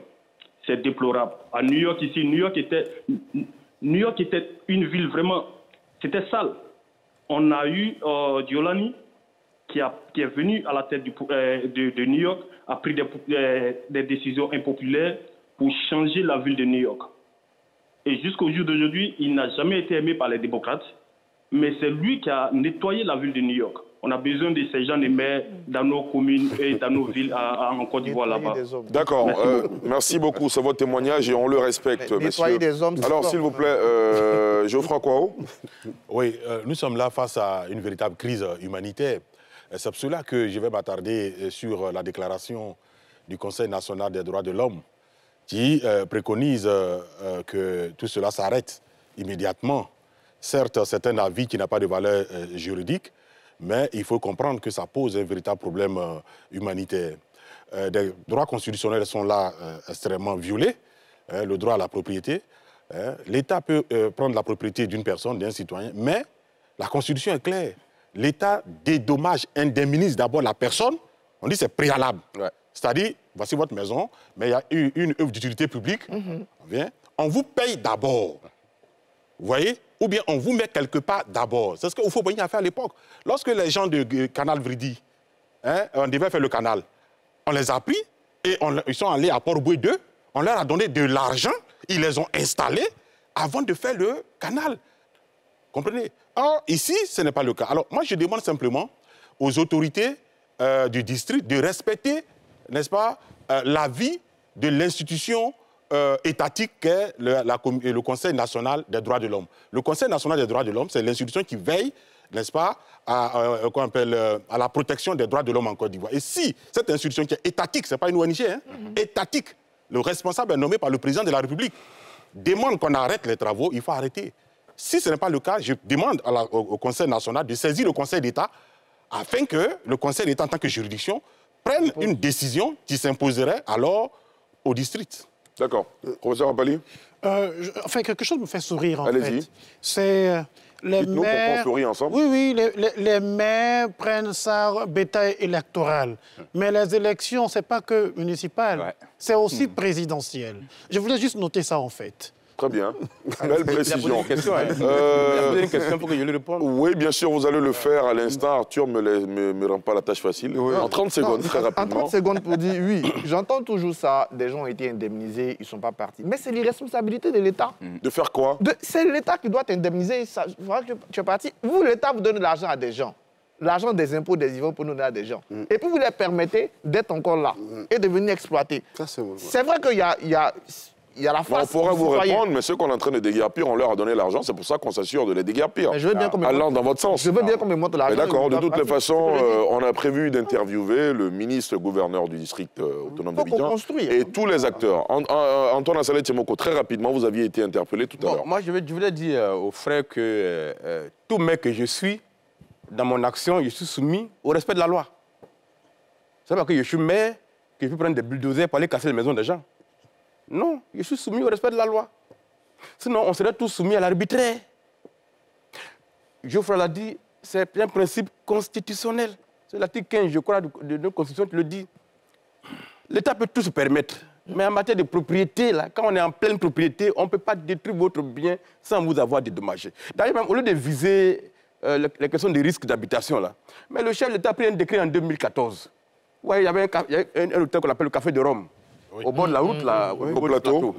Mais c'est un décret du président qui a créé une sorte de 20 mètres de servitude d'intérêt public au bord de la dune. Ça a permis de casser le Café de Rome. Mais après quoi? Après dédommagement. J'ai travaillé ce dossier avec Maître Blessy. Et donc, la- le, le collège en question, qui a été détruit là, mais dans le, le décret en question, en, en- en zone urbaine, c'est 20 mètres. Au-delà de la zone urbaine, c'est 100 mètres de chaque côté de l'autoroute. Mais quand on prend les 20 mètres là, ça prend le collège. Mais donc, le district n'a même pas même à évoquer des questions de précarité. Il peut même dire, le décret que le président a pris là, vous êtes sur une servitude d'intérêt public. Donc on va vous déguerpir, donner la preuve que votre installation est régulière, et puis on vous dédommage. Mais c'est très simple. Parce qu'on ne peut pas casser et puis venir discréditer après le fondateur. On dit non, c'est une annexe qui comporte trois classes. D'accord. Alors que moi, j'ai trois arrêtés signés par Kandia Kamara qui crée l'école. D'accord, très bien. Vous voulez qu'on dise quoi? Monsieur, on est obligé d'aborder l'actualité euh, internationale, sous-régionale, marquée justement par cette rencontre des chefs d'État et de gouvernement euh, des pays membres de la communauté économique des États de l'Afrique de l'Ouest, CEDEAO, réunis à Abuja, au Nigeria, hier. Et ils ont décidé, vous le savez, de la levée d'une grande partie des sanctions contre le Niger. Les frontières et l'espace aérien nigérien seront rouverts. Les transactions financières entre les pays de la CEDEAO et le Niger de nouveau autorisées et les avoirs de l'État nigérien dégelés avec effet immédiat. Une bonne nouvelle pour la population de ce pays, comme nous le montre Nadia Edja. Nouvelle pour le Niger, après la réunion des chefs d'État et des pays membres de la CDAO, Communauté économique des États d'Afrique de l'Ouest, ce samedi 24 février, la fermeture des frontières terrestres et aériennes entre les pays de la CDAO et le Niger doit être levée. La zone d'exclusion aérienne de tous les vols commerciaux à destination et en provenance du Niger doit être levée. La suspension de toutes les transactions commerciales et financières entre les États membres de la CDAO et le Niger doit être levée. Cette décision est fondée sur des considérations humanitaires en particulier, au moment où nous sommes en période de carême et où nous nous préparons au mois sacré du Ramadan. En plus de la levée des sanctions, la CDAO a requis la libération immédiate du président du Niger, retenu depuis le 26 juillet 2023, à la suite d'un coup d'État. L'autorité demande la libération immédiate de son Excellence Mohamed Bazoum, ancien président de la République du Niger. Au Niger, la levée de ces sanctions officielles et économiques apporte soulagement. Une décision salutaire pour les populations. Tout le monde est très content de la levée de l'embargo. Pour nous, c'est comme un jour de fête. Tout va revenir à la normale, les vivres vont rentrer, les pauvres et les riches vont pouvoir manger. On pourra assister les plus démunis, le mois de Ramadan arrive. Si les prix des produits baissent, tout le monde doit pouvoir nourrir sa famille, donc la levée de l'embargo est une excellente nouvelle. Nous remercions Allah. Sanction n'exclut pas, on n'exclut pas aussi ça au fait la méfiance et c'est une motivation, je pense, de tous les Nigériens pour vraiment travailler en symbiose avec aussi nos alliés qui sont quand même, c'est-à-dire au fait un peu durs avec nous, mais puisqu'ils sont revenus à de meilleurs sentiments, je pense que ça au fait nous, allons, nous, nous devons nous pardonner. Une joie qui retentit jusque chez certains pays voisins, notamment le Nigeria, qui s'est vu pâtir de la fermeture de ses frontières avec le Niger. Le Niger et le Nigeria partagent des longues frontières. Le Niger et le Bénin ont des liens séculaires. On ne devrait pas être privé de, du va-et-vient. Maintenant, ce qu'il y a lieu de faire, c'est d'avoir un œil regardant sur ceux qui entrent et ceux qui sortent. Le Niger est tombé sous le coup des sanctions de la CDAO après le putsch de juillet 2023. À la suite des sanctions imposées par la CDAO pour faire flancher la junte, le pays s'est associé au Mali et au Burkina Faso dans l'Alliance des États du Sahel, qui a annoncé récemment sa volonté de quitter la CDAO. Monsieur, réaction à cette actualité concernant le Niger. On le rappelle, la CDAO avait euh, euh, montré les muscles euh, pour réclamer le retour à l'ordre constitutionnel incarné par le président Mohamed Bazoum. Aujourd'hui, on est bien loin de cette actualité-là. Khalilou Koulibaly, réaction Oui, effectivement, malheureusement, on est très loin de cette actualité-là. le temps donné raison aux pushistes de la CDAO qui a finalement fléchi qui n'a pas su maintenir sa position, qui n'a pas eu la bonne approche. C'est ce qui euh, ça nous dit. Euh, c'est dommage pour la démocratie, c'est dommage pour euh, le peuple qui élisent les présidents et puis finalement qui se retrouvent être gouvernés par des pushistes qui n'ont aucune légitimité.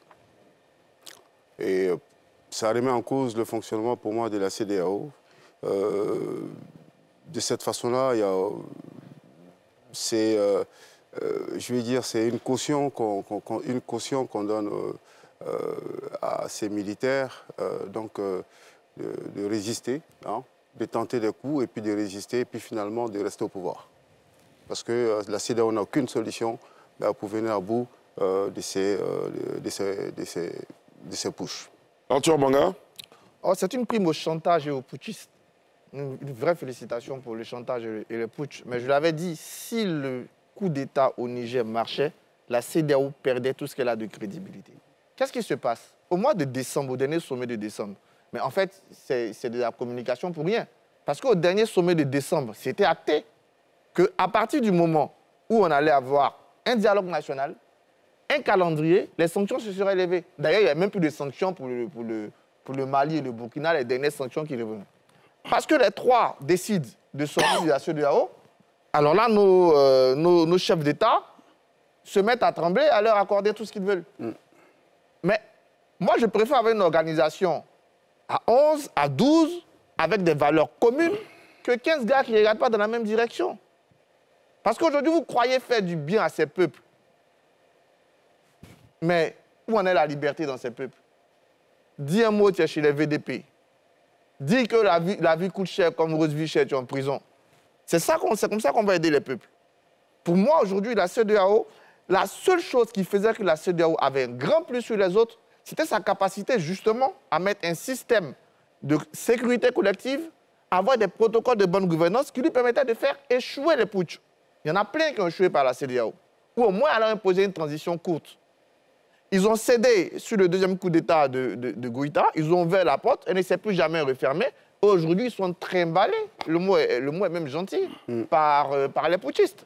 Cette levée de sanctions, d'autant plus qu'en décembre, c'était acquis, il n'y avait même plus de problème. Le problème, c'était du côté maintenant de, la junte nigérienne, qui devait ouvrir un dialogue et qui devait donner un calendrier pour qu'on retourne à la normale, comme c'était le cas avec le Mali. Il y a eu des sanctions avec le Mali. À partir du moment où le Mali avait pris l'engagement d'organiser les élections le 24 février, mais ça, on ne peut plus en parler parce que la CDAO s'est totalement décrédibilisée au Niger. On les a levés. Donc vous prenez des sanctions pour obtenir le retour à l'ordre constitutionnel, ok, c'est pas grave, on peut plus, on laisse tomber. On va obtenir maintenant euh, euh, euh, une transition courte, on peut pas, on laisse tomber. On va obtenir la libération de Bazoum, on peut pas, on laisse tomber, on annule tout. Mais franchement, ça veut dire qu'aujourd'hui, en Afrique de l'Ouest, quand tu n'es pas d'accord avec la CEDEAO, menace de parti, ils vont se réunir à un sommet extraordinaire pour t'offrir tout ce que tu veux. C'est la prime au chantage et au putsch. Antoine Assalé Timoko Ben, écoutez, euh, nous sommes tous euh, en face euh, de la situation. Le constat est clair. La CDAO est à la croisée des chemins. Tant qu'elle se cantonnait aux questions d'intégration et aux questions économiques, elle fonctionnait. Après, elle a voulu jouer aux gendarmes de l'Afrique de l'Ouest. Aujourd'hui, elle s'écroule. Voilà. Et donc, il faut redéfinir l'organisation. Peut-être avoir des ambitions plus modestes et laisser les peuples choisir leur propre destin. Peut-être que dans, dans... Parce que les gens ont le droit de s'autodéterminer aussi. Il faut les laisser faire, faut les laisser faire leur expérience de leur souveraineté, de tout ce qu'ils veulent imaginer. Si ça ne fonctionne pas, après, ils prendront une décision. Mais je pense que euh, là, on est devant le fait accompli. Euh, les- ils ont fait un coup d'État, ils ont été sanctionnés, ils n'ont pas reculé. Et c'est la CDAO qui a reculé sur tous les plans. Donc aujourd'hui, l'organisation, elle est à terre, quoi, je veux dire. Et donc, il faut que nos dirigeants euh, redéfinissent la mission qu'ils veulent s'assigner eux-mêmes et qu'on donne une autre mission à la CDAO, qu'elle revienne à la CDAO des peuples, de l'intégration. Et puis, bon, on trouverait d'autres mécanismes pour régler les questions de succession dans les pays. Et peut-être ça fonctionnerait mieux. Mais là, c'est toute la, machine qui a, le bec dans le sable. Voilà. André? Non, la CDAO est totalement déchiquetée, hein, euh, c'est clair. Euh, totalement discréditée, euh, totalement délégitimée, euh, totalement, vraiment tous les mots possibles. Euh, parce que euh, la CDAO porte en elle-même les, les germes de sa propre dislocation. Euh, on va peut-être en venir. Mais vous avez le président Macky qui est à cette réunion, qui a tenté, qui, a- qui est- qui s'est englué dans une tentative de coup d'État constitutionnel. Mais que voulez- que voulez-vous que les peuples issus de la CEDEAO puissent penser euh, d'une euh, d'une telle organisation quand on voit un président euh, à la table de, de- de- de cette euh, organisation en train de prendre des décisions. Mais c'est totalement... non. La CEDEAO, pour moi, n'existe plus. C'est une Ah, vous y organisation... allez un peu fort, hein. Non, c'est une organisation totalement dé- décrédibilisée qui, je ne sais pas, je ne sais plus ce qu'elle fera encore qui va lui donner vraiment de la force. C'est euh, c'est fini, il faut peut-être passer à autre chose. Geoffroy? Non, je pense que les relations internationales sont guidées par ce qu'on appelle les rapports de force. Et le retrait euh, des pays de l'Alliance des États du Sahel a été un véritable coup de marteau reçu par la, euh, par la CDAO, et qui s'est euh, confrontée à ses propres euh, euh, contradictions. Et là, elle est obligée de faire profil, bas. Mais les décisions de la CDAO qui ont été prises ne concernent ni le Niger, ni le Mali, ni le, le Burkina, qui ne font plus partie de cette organisation qui est dans des contradictions. En fait, la CDAO paye ici son incohérence. La CDAO ne discute pas, les, les États de la CDAO, les présidents, les chefs d'État de la CDAO ne discutent pas avec les pushistes de la CDAO, mais discutent avec les pushistes de la CEMAC.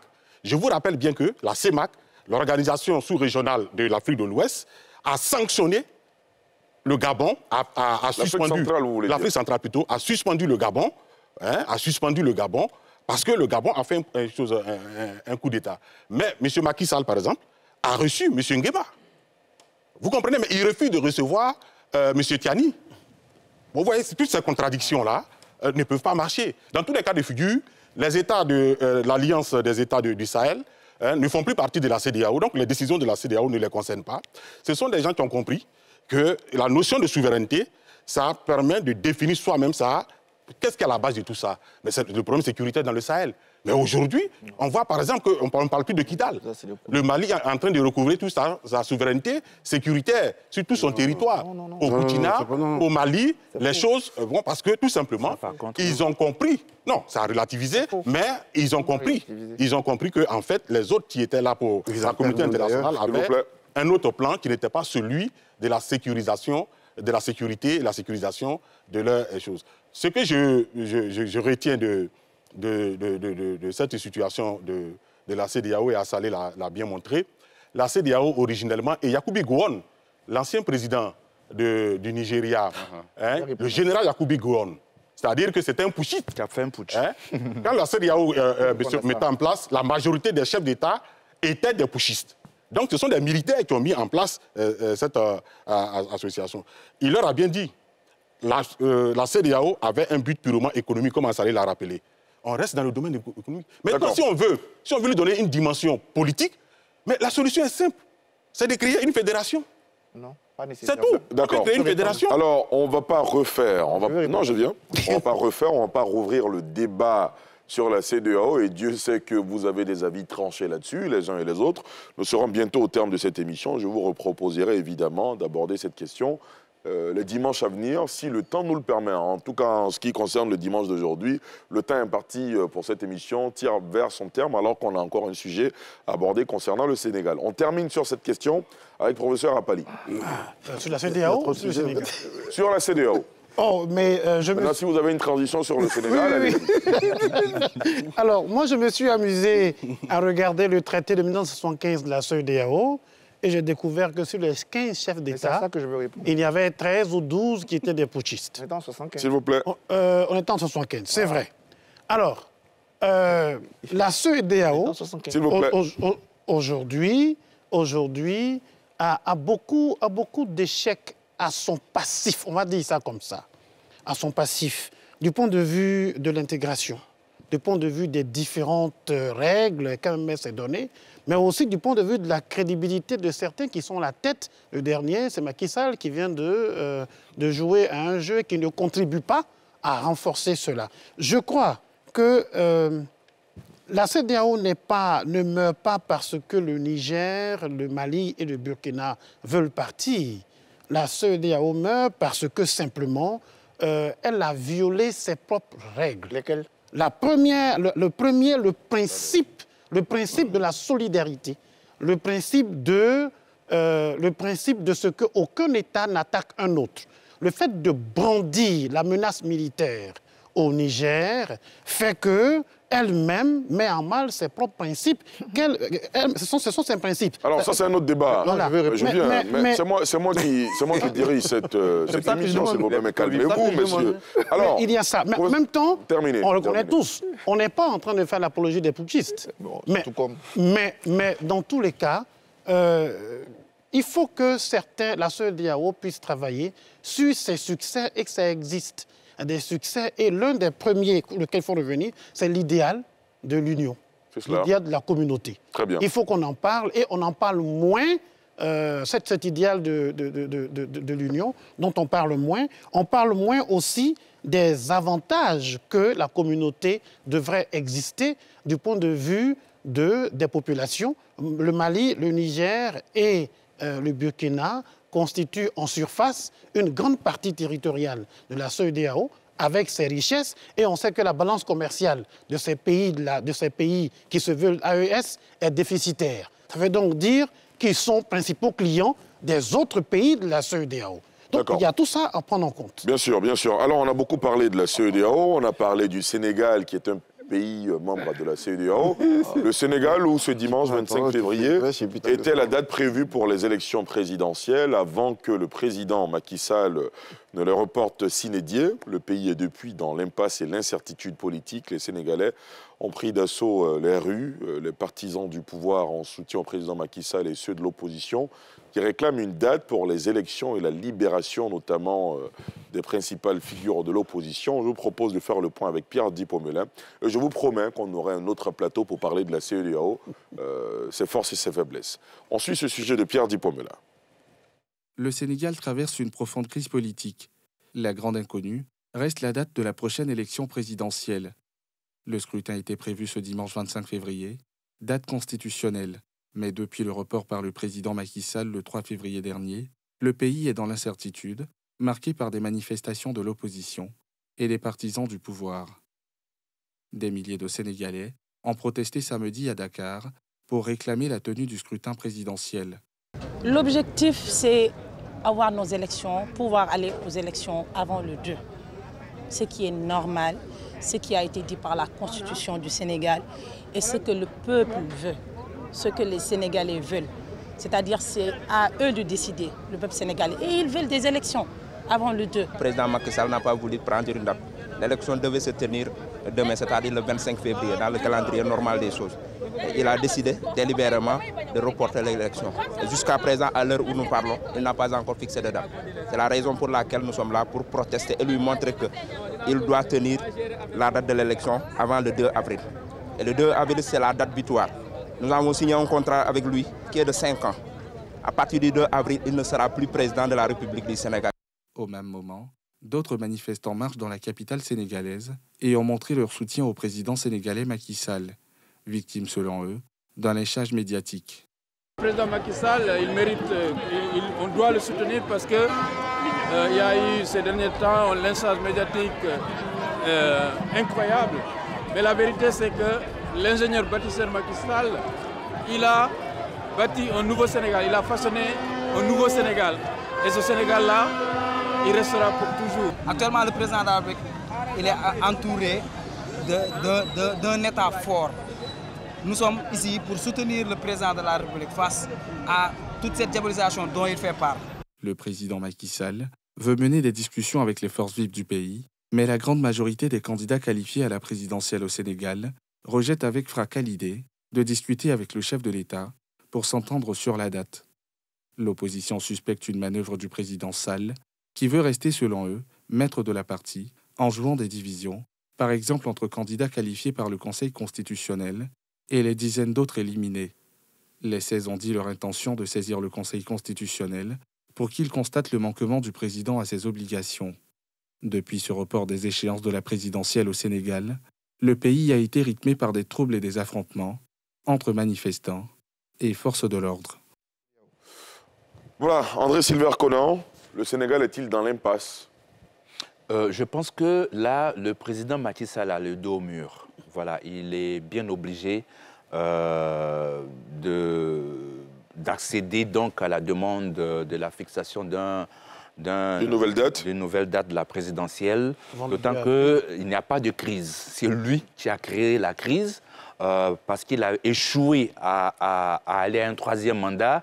Euh, il a mis tellement de temps que, euh, à couper les têtes de ses propres, euh, de ses propres responsables, de sorte qu'aujourd'hui, son parti, le camp présidentiel, n'a pas un candidat assez fort, parce que c'est, en fait, c'est cela, il veut gagner du temps, non seulement pour le candidat euh, du pouvoir, mais aussi essayer de trouver un arrangement avec euh, Karim Ouad, un peu comme Tshisekedi et, Kabila en, RDC. Non, euh, je dirais que c'est Boribana pour euh, le président Macky Sall, il faut qu'il y, ait, y ait des élections. Je crois? Non, vous savez que pour construire une démocratie, il faut des démocrates. À l'évidence, Macky Sall n'est pas un démocrate. Il est venu par euh, les urnes et il sort par la petite porte. Il ne veut pas quitter le pouvoir, c'est tout. Il cherche maintenant des arguments. Quand vous dites qu'il sort par la petite porte, il n'est pas encore ah non, sorti. Il, il, il, va organiser les élections. c'est votre lecture, allez-y. Oui. Non, mais il est discrédité. On sait très bien que tout ce qu'il fait, c'est parce qu'il veut rester au pouvoir. Malheureusement, il s'est trompé de peuple. Il pensait que le Sénégal, c'est comme les autres pays de l'Afrique, de la CDAO. Ah non Au Sénégal, il y a un peuple. Ce n'est pas une population, c'est un peuple. Une population, c'est un nombre d'habitants, sans conscience politique. Un peuple, c'est une population avec une conscience politique. Et le Sénégal a une conscience politique. En sus, le Sénégal a des institutions. Surtout surtout des institutions, avec des hommes politiques s'il vous plaît, s'il vous plaît. qui savent ce qu'on appelle la politique. Ce ne sont pas des suiveurs. Ce ne sont pas des suiveurs. Le Conseil constitutionnel a été assez clair. Donc Macky Sall s'est trompé de pays. Et c'est ça qui m'étonne. Il pensait qu'il était ailleurs dans d'autres pays d'Afrique de l'Ouest où on peut se permettre de tout faire et tout justifier. Et donc là, il sort par la petite porte euh, et vous voyez, tout à l'heure, André le disait, et c'est euh, M. Macky Sall qui va aller donner des leçons de démocratie à d'autres pays. Et c'est ça, c'est regrettable. D'accord. Professeur Ampali ben, bon, Moi, je crois que c'est très simple. Le, le, Sénégal a les moyens de s'en sortir. Je crois au peuple sénégalais, aux institutions, mais je pense aussi euh, la sortie, l'incertitude. Il faut aussi regarder au plan économique. Et je crois que le FMI, il n'y a pas longtemps, a parlé donc des prudences du Sénégal. Donc, on a les moyens de s'en sortir sur ce point-là. La maturité de ces institutions le permettent. Et puis, euh, le Conseil constitutionnel a donné le 2 avril, je crois. Pas encore donné. Euh, Ils n'ont pas encore fixé de délai. Euh, avant le 2 avril, je Oui, avant crois. le 2. Eux n'ont pas encore Ce qui est prévu euh, normalement, c'est est que la, le- fin du mandat de, Voilà, du président Macky Sall. euh, Il y a euh, donc des élections et on cela, espère jusqu'au que... 2 avril. Mais je crois qu'avec les pressions qui viennent de partout, mais surtout les pressions locales chez lui, Hmm. il n'a pas, euh, peut-être qu'il n'a pas le choix de revenir de meilleurs sentiments. Mais sur le plan économique et sur le plan d'investissement, le Sénégal n'a pas trop d'inquiétude à se faire. D'accord. Ça devrait y aller. Très bien. De toute façon, il a dit qu'il reprogrammerait l'élection dans euh, les meilleurs délais. Khalil Koulibaly Alors, moi je dirais que c'est dommage, Macky Sall il met à mal la cohésion sociale aujourd'hui au Sénégal. Ça, c'est le fait négatif. Ensuite, euh, il est obligé de partir sous la pression de la rue. C'est dommage pour quelqu'un qui a été euh, un grand président. Mais en même temps, euh, je ne lui fais pas de procès d'intention parce qu'il n'a jamais dit également qu'il voulait faire un troisième mandat. Il ne faut pas qu'on lui fasse ce procès d'intention. Personne ne le dit d'ailleurs. Voilà. Donc, voilà, mais bon, c'est ce que euh, ça, laisse, ça laisse entrevoir, hein, d'après les, points de vue que j'ai entendus. Et donc, il n'a jamais dit, et il a fait, euh, il a fait une déclaration solennelle pour dire qu'il quittait le pouvoir le 2 avril. Donc, Il pas dit. Si, il l'a dit. Si, dans sa Non, déclaration. non, non, non, en fait, dans la première déclaration, il a, parlé. Il a dit qu'il a été élu à une date, je crois que c'était le 2, je ne sais plus laquelle date, il a dit qu'il rendrait, il ne sera plus le président de la République le 2 avril. Ça, il a été clair là-dessus. Ce- Il a Si. déclaré en fait que le 2 avril, effectivement, son mandat prend fin. C'est cela, Ça ne veut pas dire que... ça. euh, et voilà. On, on- on s'est- on s'est bien compris. Arthur? Non, moi, je pense que j'ai plutôt admiré la démocratie sénégalaise. J'ai plutôt vu un pays. Parce que, comme je le dis, truc. Mais le Sénégal a démontré qu'il y a des institutions. Mais c'est ça. Dans un état de droit, c'est pas interdit de voler. Tu peux voler. Mais la règle, quand on te vole, on te punit. Donc, que quelqu'un tente de jouer avec la Constitution, la qualité du Sénégal, c'est sa Cour constitutionnelle qui est venue rappeler. Si la Cour constitutionnelle avait donné raison à Macky Sall, vos, affaires de peuple, de rue, tout ça, rien n'allait faire quelque chose. Ils ont fait le peuple, puis on était là. Ils ont fait la rue. La Cour constitutionnelle sénégalaise s'est comportée en devoir d'ingratitude si célèbre à Roubaix Badinter.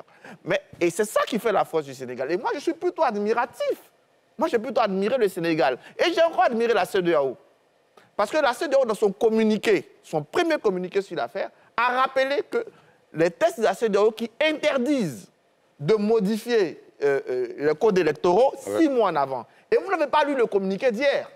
Le communiqué d'hier, dans son point 28, dit que le Sénégal, son mandat finit le 2 avril. C'est la CEDEAO qui l'a dit. Même la Cour constitutionnelle sénégalaise n'a pas osé fixer de nouvelles dates. C'est Macky Sall qui dit que demain, il aura un, un- un- un dialogue. Et si ce dialogue n'aboutit pas, il va écrire à nouveau à la Cour constitutionnelle. Mais la CEDEAO a déjà dit dans son communiqué d'hier. Et sur le Sénégal, l'institution sous-régionale a un comportement exemplaire. Elle a rappelé la nécessité de ne pas modifier la Constitution. Et donc, l'intégration politique de la CEDEAO, c'est la plus grande réussite de la CEDEAO jusqu'à hier. Et c'est d'ailleurs ceux qui parlent d'intégration économique, c'est intégration politique. On n'est pas venu là par hasard.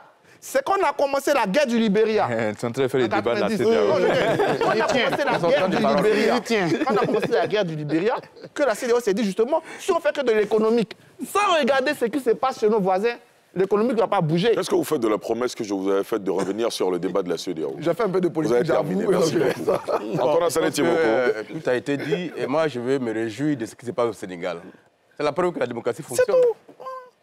Quand Obama l'a dit au Ghana devant le Parlement ghanéen que l'Afrique n'a pas besoin des hommes forts, qu'il a besoin d'institutions fortes. Mais la preuve est sous nos yeux.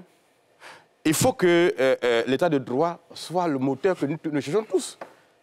Si le Conseil constitutionnel a eu le courage de dire à Macky Sall que votre décision là n'a pas de valeur juridique, eh bien ça veut dire que la démocratie peut fonctionner.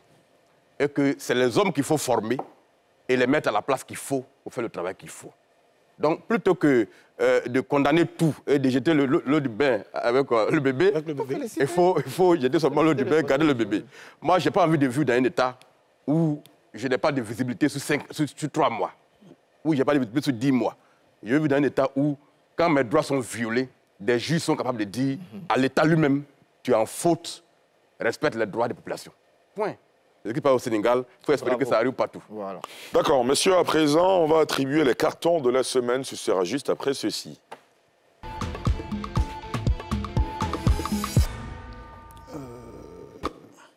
Si vous avez trois cartons, c'est pas mal. Si vous avez un seul, c'est mieux. Parce que nous sommes pris par le temps. André Silver Conan, on va commencer avec vous. Carton rouge Ah, au ministre décidément. gouverneur du Vous allez très fort d'Abidjan. Voilà, euh, tu dois donc revenir au projet d'aménagement des quartiers restructurés d'Abidjan. Euh, C'est un programme du gouvernement et le Premier ministre euh, euh, Robert Begré-Mambé doit le rappeler à l'ordre. Carton vert pour deux villages qui, réussissent quelque chose d'extraordinaire à Béanou et à Sikakro, euh, qui ont pris euh, sur eux-mêmes de construire des écoles, des écoles euh, en terre battue. Mais je souhaite qu'il y ait un accompagnement de l'État pour que ces écoles en terre battue puissent euh, être euh, des écoles modernes. Nous situer, ce village Dans la région du Nzi. D'accord, très bien. Geoffroy Kwao Oui, euh, un carton, un carton vert. Non. Pourquoi vous rougissez D'accord, euh, Geoffroy, allez-y, allez-y. Oui, carton vert, eh ben, eh, ça va étonner peut-être tout le monde. Vous pouvez le présenter, s'il vous plaît, euh, voilà. voilà, C'est pour le, le- le chef du gouvernement. J'ai apprécié beaucoup euh, son, son comportement. Vous savez, avant la Cannes, il allait voir les chefs religieux, les populations, tout le monde, pour leur confier la Cannes et leur dire. Et après, il est revenu vers ces populations, surtout les, les- les religieux, et il leur a dit merci. Ouais, ce sont des comportements qui euh, manquent souvent dans notre, dans notre, dans notre, dans notre fraternité euh, nationale. Et donc, il faut, il faut le faire. Maintenant, on a récompensé tout le monde. Il faut qu'on récompense le peuple ivoirien, qui a été le 12e homme, comme le disait tout à l'heure Khalidou. Hein? Il faut supprimer les 10% sur le taux d'électricité. Vous voyez, le courant, l'électricité, parce que c'est trop. Je pense que, et là, je fais une doléance au plus haut responsable de l'État. hein, voilà. Euh, si vraiment on veut récompenser tout le monde, on a récompensé les acteurs, c'est bien. On a récompensé euh, les uns et les autres, c'est bien. Ce que demande le peuple ivoirien, c'est la levée des 10% sur l'électricité. Très bon plaidoyer, merci beaucoup. Professeur Apali carton rouge au gouvernement pour l'action de déguerpissement? Qui ne prend pas en compte le volet humain. Ah oui, c'est vrai.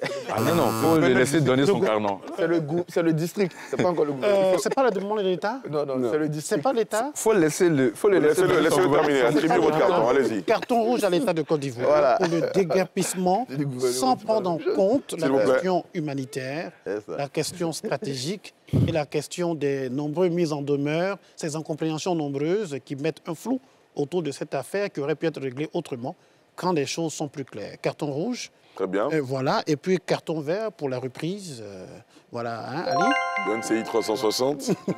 parfait, parfait, merci beaucoup. Khalilou Carton vert pour moi au chef de l'État qui nous engage tous à, à fonder l'unité nationale.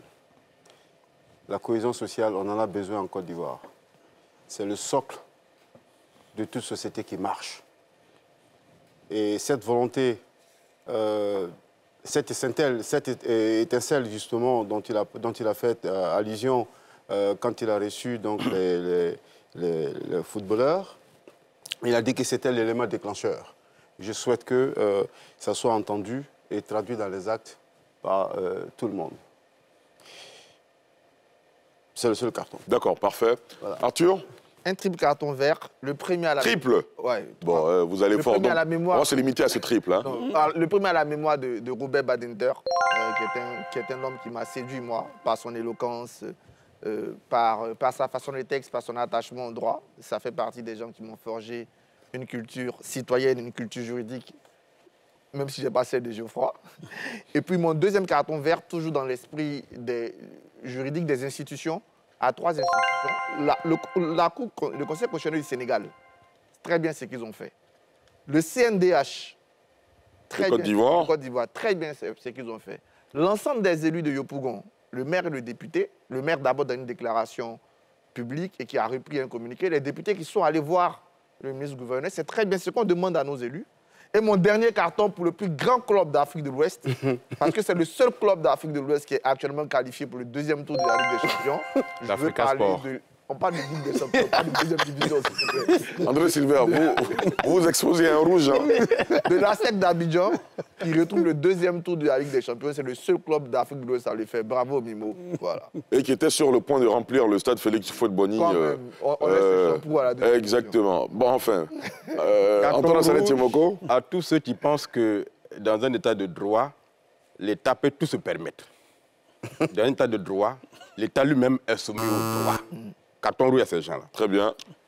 Carton vert à ces jeunes Ivoiriens qui, sur les réseaux sociaux, organisent des panels où ils font des débats sans s'insulter et traitent des questions de société.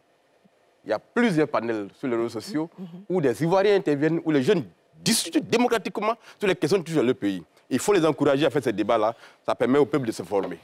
Et les, à tout le monde là-bas. Et les, encourager également à venir sur les plateaux de NCI 360 parce que ici, euh, de la confrontation des idées naissent évidemment l'éclairage des populations. Carton vert justement à tous ces téléspectateurs et internautes qui nous ont suivis ce soir encore. Vous étiez un peu plus de 4000 euh, dans le live Facebook et bien sûr des millions et des millions euh, en nous suivant sur le tube cathodique chez vous à la maison. Merci beaucoup. Merci à vous, Khalilou Koulibaly, professeur Arthur Banga, Antoine Assaleti Moko, professeur Apali Hervé, Geoffroy Julien Kouao, André Silver Conan, carton vert à tous. Merci d'être venu faire le débat. Merci à toutes et à tous. Je vous souhaite de passer une excellente soirée sur NCI. Je vous retrouve demain à 19h50 dans NCI News. Excellente soirée.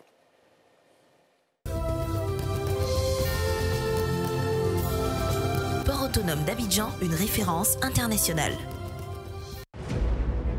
Cette émission vous a été présentée par la Sodémie, la porte d'entrée du secteur minier ivoirien. Luxury Immobilier. Construisons l'avenir ensemble.